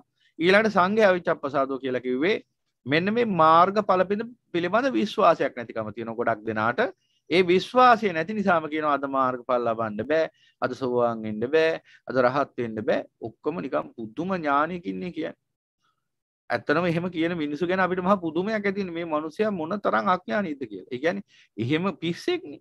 එහෙම පිටින් අද මාර්ගඵල ලබන්න බෑ අද සෝවාන් වෙන්න බෑ අද සකදාගාමී වෙන්න බෑ අද අනාගාමී වෙන්න බෑ අද අරිහත් ඵලයටපත් වෙන්න බෑ කියේ කවුරු හරි ඉන්නවනම් මතක තියාගන්න ඔබට ඇහුනොත් ඔහු ගිහියෙක් වේවා පැවිද්දෙක් ඒවා පිස්සෙක්.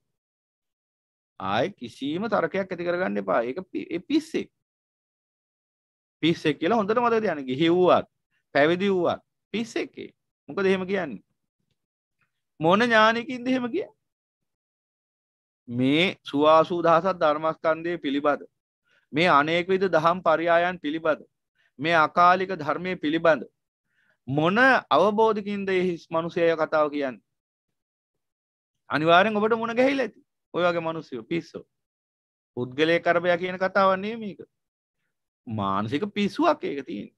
ඒ කියන්නේ ඒ පුද්ගලයාගේ හිත ඇතුලේ ඒ කවුරු හරි කතාව කියන පුද්ගලයාගේ චිත්තසංතානය පරීක්ෂා කරලා බැලුවොත් අධික රාග දේශ මොහ ඇති පුද්ගලෙක් ඔය.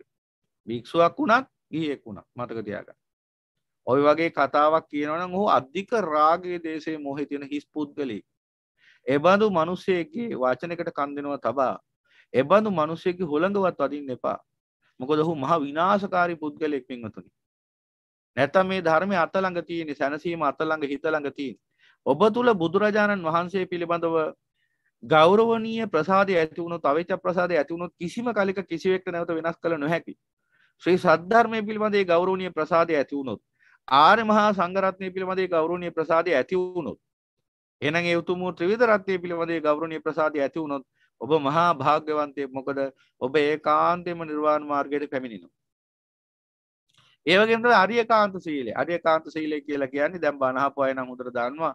එක්කෙනෙක් හරි අලුතෙන් බණ අහනවා නම් ඒ පින්වතුන්ගේ අවබෝධය පිණිස දේශනා කරන්නේ අරියකාන්ත සීලය කියලා කියන්නේ දැන් අපිට පුළුවන් සීලය ඕනනම් ආරක්ෂා කරන්න වතක් සමාදන් වෙලා ශික්ෂාපද කිහිපයක් සමාදන් වෙලා ශික්ෂාපද ආරක්ෂා කරමින් කටයුතු කරන්න පුළුවන්.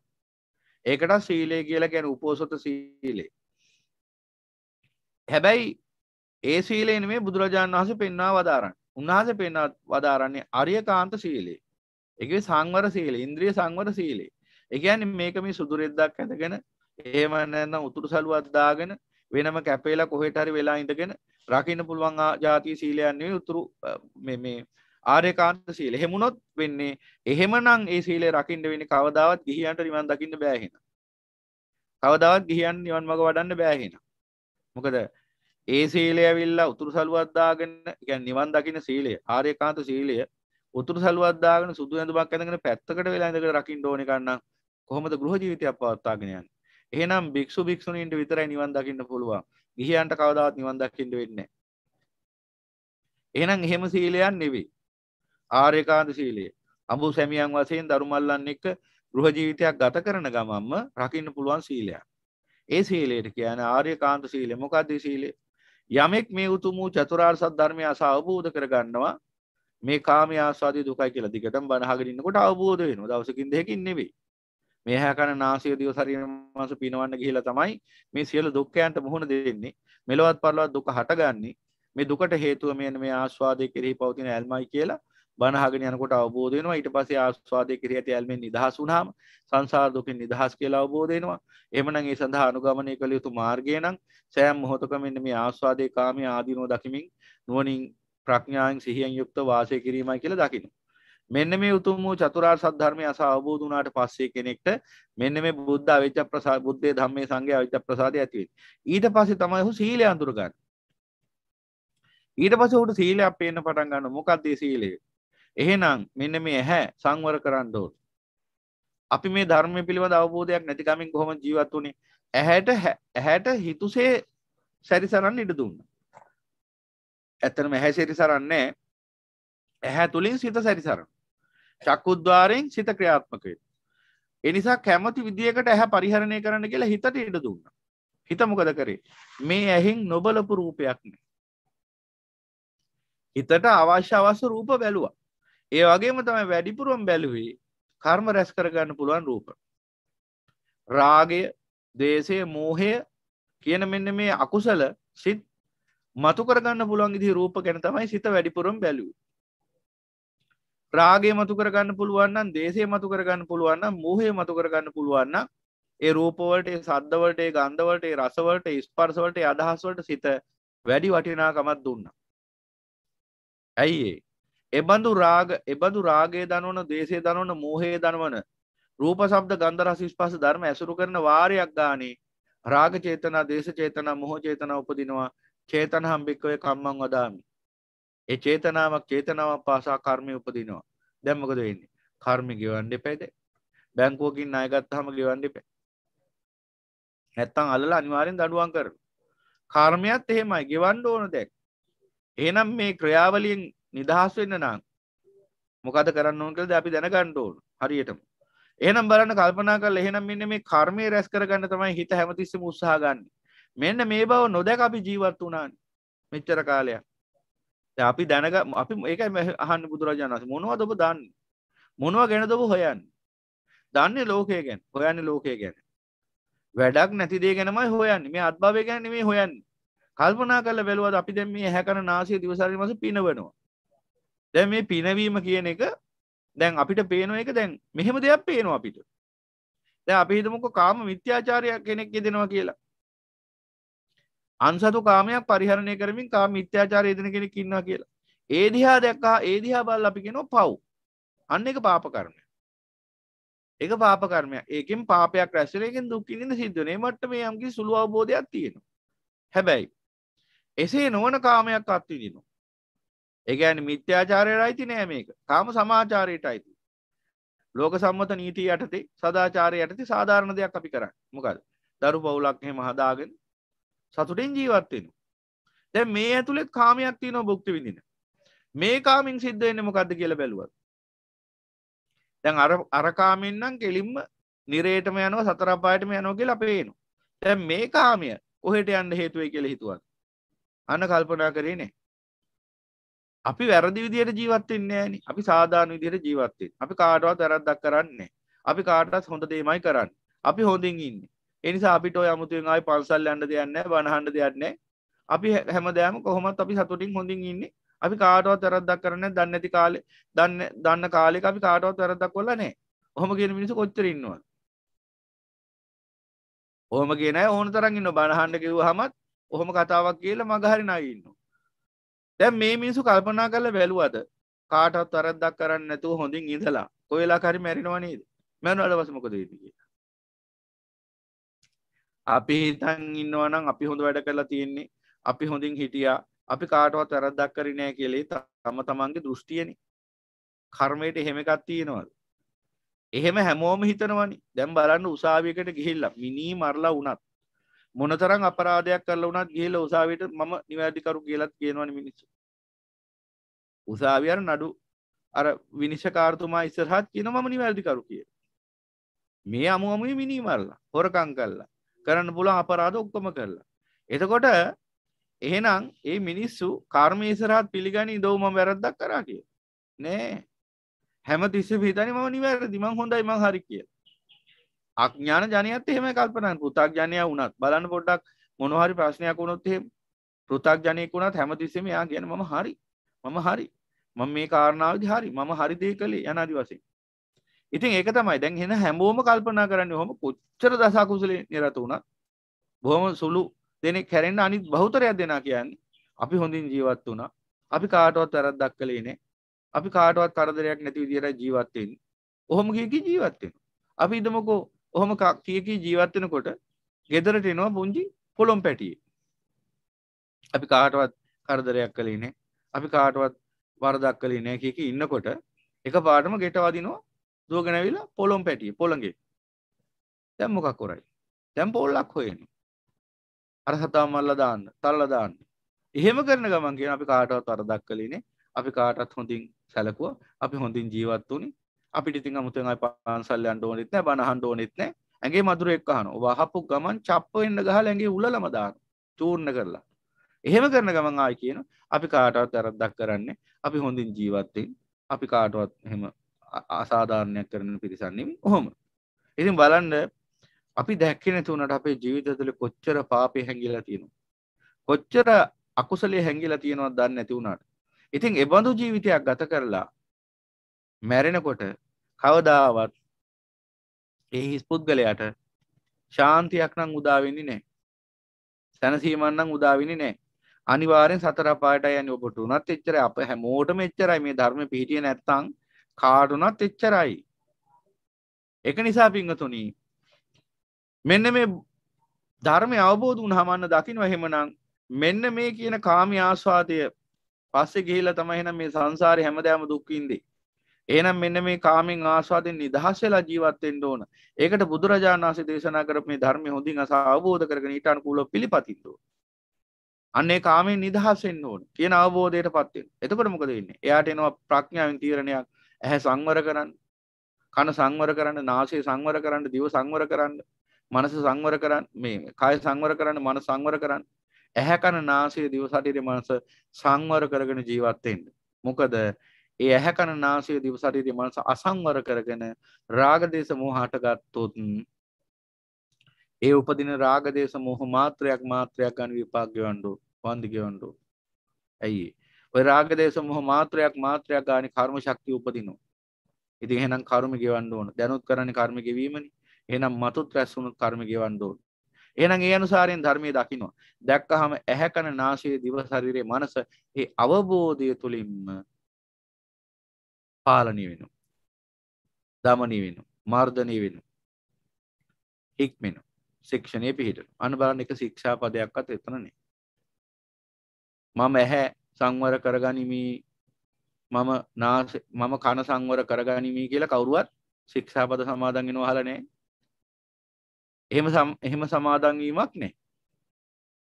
මම ප්‍රාණඝාතයෙන් වළකිමි කියලා සමාදන් වෙනවා. එපමණයි. එතනින් එහා තියෙන පොඩි පොඩි ඔය පාප කර්ම කරන්නේ නැහැ කියලා සමාදන් වුන්නේ නැහනේ. ඒ නිසා දැන් ප්‍රාණඝාතයෙන් වැළකීමි කියලා සමාදන් වුණේ. ප්‍රාණීන්ට හිංසා කිරීම නොකරමී කියලා සමාදන් වුන්නේ නැහනේ. ඒ නිසා මොකද කරන්නේ ගොඩක් අය. ප්‍රාණඝාතයෙන් වෙන් වෙලා ප්‍රාණීන්ට හිංසා කරමින් ජීවත් වෙනවා. එක එක කඩත් එට්ටම් කරමින්.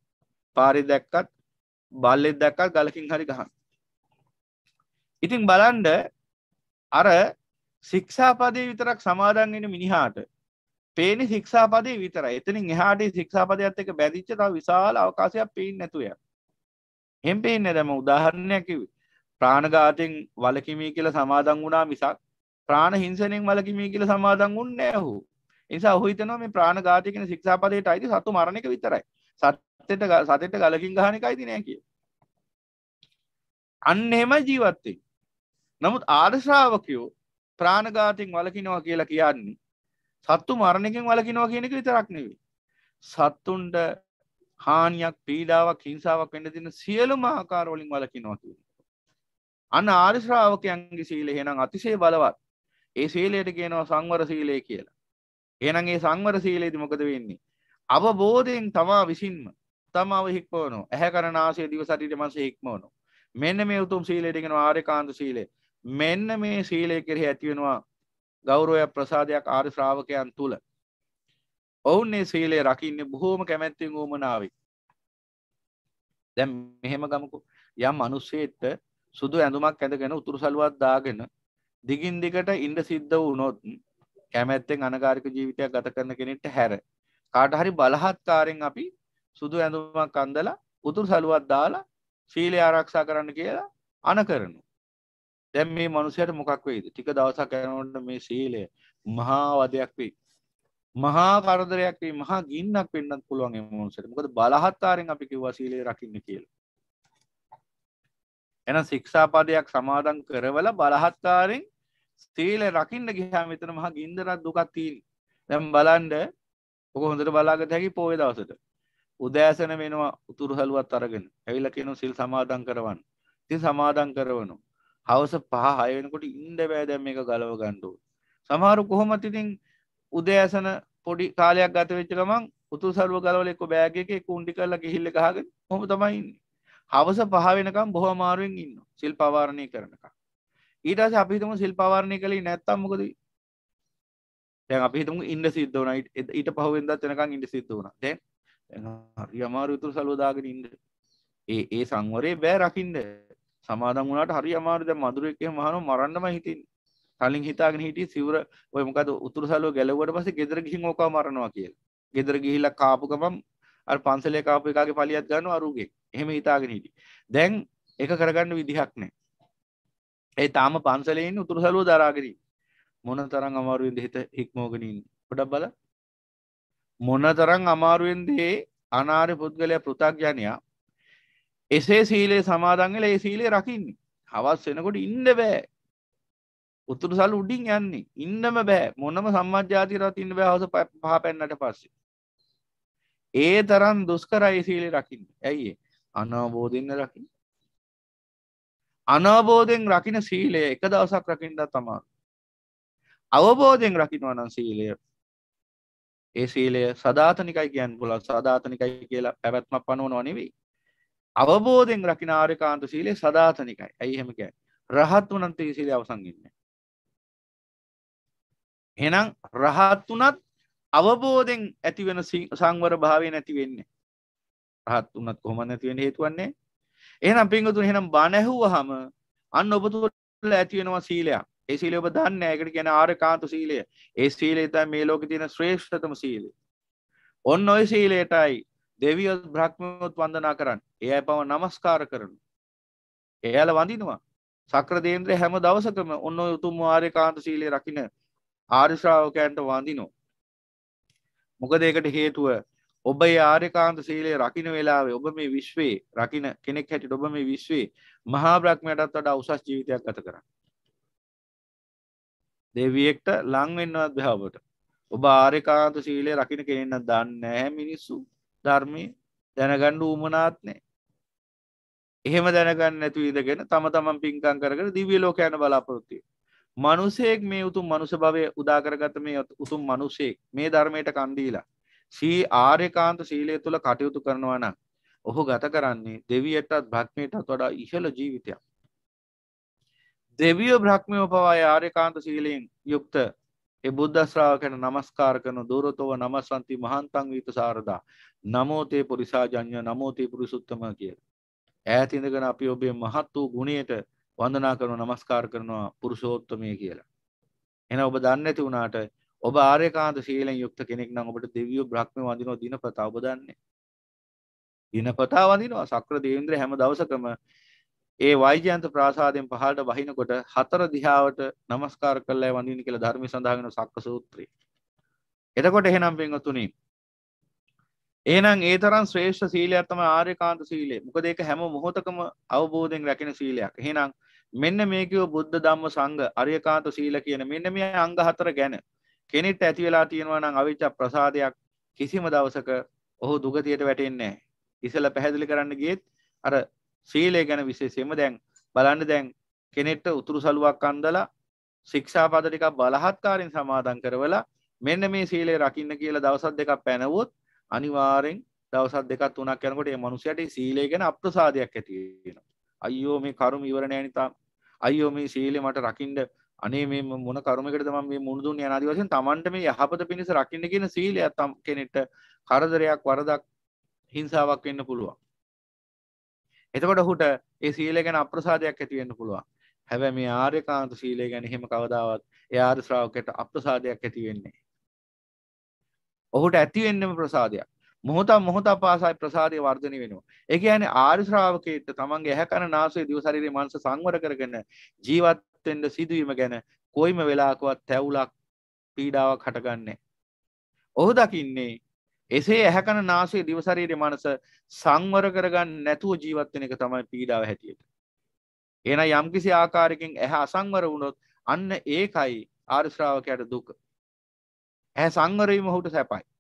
කන අසංවර වුණොත් ඒක හුට දුකක්. කන සංවරීමයි සැප. ඔවිදියට ඇහැකන නාසේ දිවසරීරය මනස සංවරවීම ආර්ය ශ්‍රාවකයට සැප. ඇහැකන නාසේ දිවසරීරය මනස අසංවරවීම හුට මහ දුකක්. හැබැයි ආර්ය ශ්‍රාවකයෝ සම්බන්ධයෙන් එහෙම වුණාට අනාර්ය ශ්‍රාවකයෝ සම්බන්ධයෙන් අනිත් පැත්ත එක. ඒ මොකක්ද? අනාර්ය ශ්‍රාවකයන්ට ඇහැ කන නාසය දිව ශරීරයේ මනස නැත්නම් පෘථග්ජනයන්ට ඇහැ කන නාසය දිව ශරීරයේ මනස අසංවර වීමයි සැප. ඔවුන්ට අනුකූලව ඇහැ කන නාසය දිව ශරීරයම සංවර කර ගැනීම දුකක්. අන්න බලන්න වෙනස. එහෙනම් ආර්යයන්ට ආර්යකාන්ත සීලේ සැපක්. නොහොත් ඇස කන නාසය දිව ශරීරයේ මන් සංවර වීම සැපක්. ආනාරයන්ට පෘථග්ජනයන්ට හැකරනාශය දිව ශරීරයම සංවරීම දුකක්. ඔවුන් කැමති නෑ එකට. ඔවුන්ට කිව්වොත් එහෙම හැකන නාසය දිව ශරීරය මන සංවර කරන එක දවසක් ඉන්න කියලා කැරලි ගහන ඊට පහුවෙන්දට. අර පහුගිය කාලේ කොරෝනා නිසා ඉන්නකව ගෙවල් වලට වෙලා. දැන් බලන්න කොරෝනා නිසා ගෙවල් වලට ඉන්න කිව්වා ගෙවල් වලට ඉන්න කිව්වා දහසක් ප්‍රශ්න වලට මුහුණ දීගෙන හිටියා. මොකද ඒකට හේතුව කොරෝනා වෛරස් එකට එරෙහිව කැරල්ලක් ගහන්න බැරි නිසා. දොස්තගල වැඩන්නේ තමන්ගේ මක්ඥාන කමින්තය වෙනසෙනවා වෙනසෙන්නේ ඒ නිසා අපි මෙන්න මෙහෙම නිරෝධානයමු කියලා කිසිම ගැටලුවක් නැතුව හිටියා. නමුත් අනිත් ප්‍රශ්න සම්බන්ධයෙන් එහෙම හිතන්න ඥානයක් නැහැ.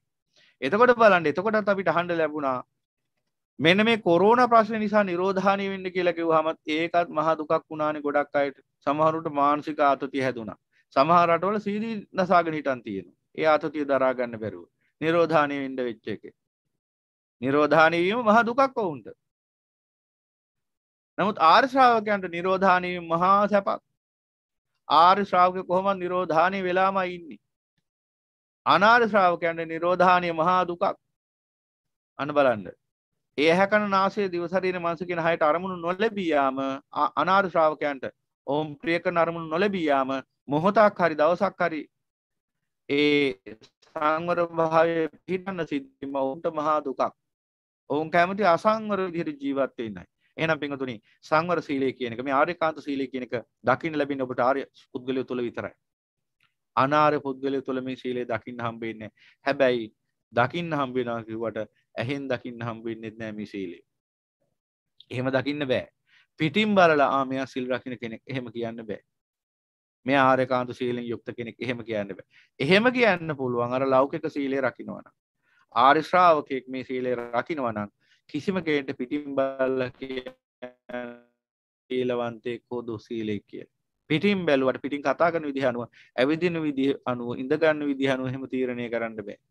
මොකද ඒ ඇහැකන නාසය දිව ශරීරය මාස සංවර වීම ප්‍රඥාවෙන් සිද්ධ වන්න. ඉතින් ප්‍රඥාවෙන් ඒ සිත මෙහෙවන ආකාරය ඇහෙන් බැලුවට පේන්නේ නැහැ කෙනෙක්ට. එහෙනම් පින්වතුනි මෙන්න උදේගාමිනී ප්‍රතිපදාව අසිරිමත් වූ භාගතුන් වහන්සේ පෙන්වා දෙන. එහෙනම් බලන්න මෙන්න මේ කිව්ව ආකාරයට බුද්ධ ධම්ම සංඝ තියෙන කියන ත්‍රිවිධ රත්නයත් ආරේකාන්ත සීලය කියන මෙන්න මේ සතරාංග ගැන. මෙන්න මේ සතරාංග ගැන. වෙනස් වන් නැති ගෞරවනීය විශ්වාසයක් ඔබ තුළ ඇති වෙලා නම් තියෙන්නේ බණ අහලා මම නෙවෙයි දේශනා කරන්නේ බුදුරජාණන් වහන්සේ. ඒ සියලුම දෙනා සෝවාන්. ඒ සියලු දෙනා සෝවාන්. ආයි ඈ සෝවාන්ද නැද්ද කියලා කාගෙන්වත් අහන්න ඕනේ නැහැ බුද්ධ වචනේමයි එහෙනම් බලන්න මොනතරම් ශාන්තියක් උදා කරගන්න පුළුවන්ද බණ ඇහිම තුලින්. එහෙනම් මතක තියාගන්න. මේ විශ්වයේ ඉහළම සැප ලැබෙන්නේ බණ අහන අයට. මේ විශ්වයේ ඉහළම සැප ලැබෙන්නේ සද්ධර්මය ශ්‍රවණය කරන මනුෂ්‍යයන්ටයි දෙවියන්ටයි බ්‍රහ්මයන්ටයි ඥානවන්තයන්ටයි. එහෙනම් ඔබ ඒ උතුම් වූ වාසනාව භාග්‍ය උරුම කරගත්ත කෙනෙක්. එනිසා මේ විදිහට නිරන්තරයෙන් ශ්‍රී සද්ධර්මයට කන් දීමයි සැපේ මාවත. අන්නේ දහම් ව්‍යාකරණ එසේ දරා ගන්න ඕන. අද ආරම්භයේදී මම ඒ දහම් ව්‍යාකරණ ඔබට පෙන්වා දුන්නේ බාණ ඇසීමේ වැදගත්කම පෙන්වා දෙන්නත් එක්ක. එහෙනම් බුදුරජාණන් වහන්සේ පෙන්වා දෙනවනේ අපිට අර විදිහට පාරවල් ගානි පෝලිං ගානි ගිහිල්ලා හරි නිකම් මැරෙන්න ඕනේ අර විදිහට පාරවල් දිගේ ඇවිදගෙන ගිහිල්ලා කුණු යනකොට කුණු වලවල් වලට වැටිලා ගවර වලවල් වලට වැටිලා නිකරුණේ මියන්ට අවශ්‍ය නැහැ සැපවිඳින්න. සැපවිඳින්න අවශ්‍ය නම් ඔබ බුද්ධ ධම්ම සංඝ ත්‍රිවිධ රත්නය කෙරෙහි මෙන්න මේකේ ආවිච්ඡ ප්‍රසාදය ඇති කරගන්න. නිකම් ඇති වෙන්නේ නැහැ බණ අහන්න ඕන. බණ අහනකොට කල්යාණ මිත්‍ර ඔබ තුල ආවිච්ඡ ප්‍රසාදය ඇති කරනවා. ඒකයි පරතෝකෝෂක ප්‍රත්‍ය කිව්වේ. සද්ධර්මයේ තුලින්. ඒ ආවිච්ඡ ප්‍රසාදය ඇති වුණා නම් එහෙනම් එයින් පස්සේ පුද්ගලයාට ලැබෙන්නේ සැප.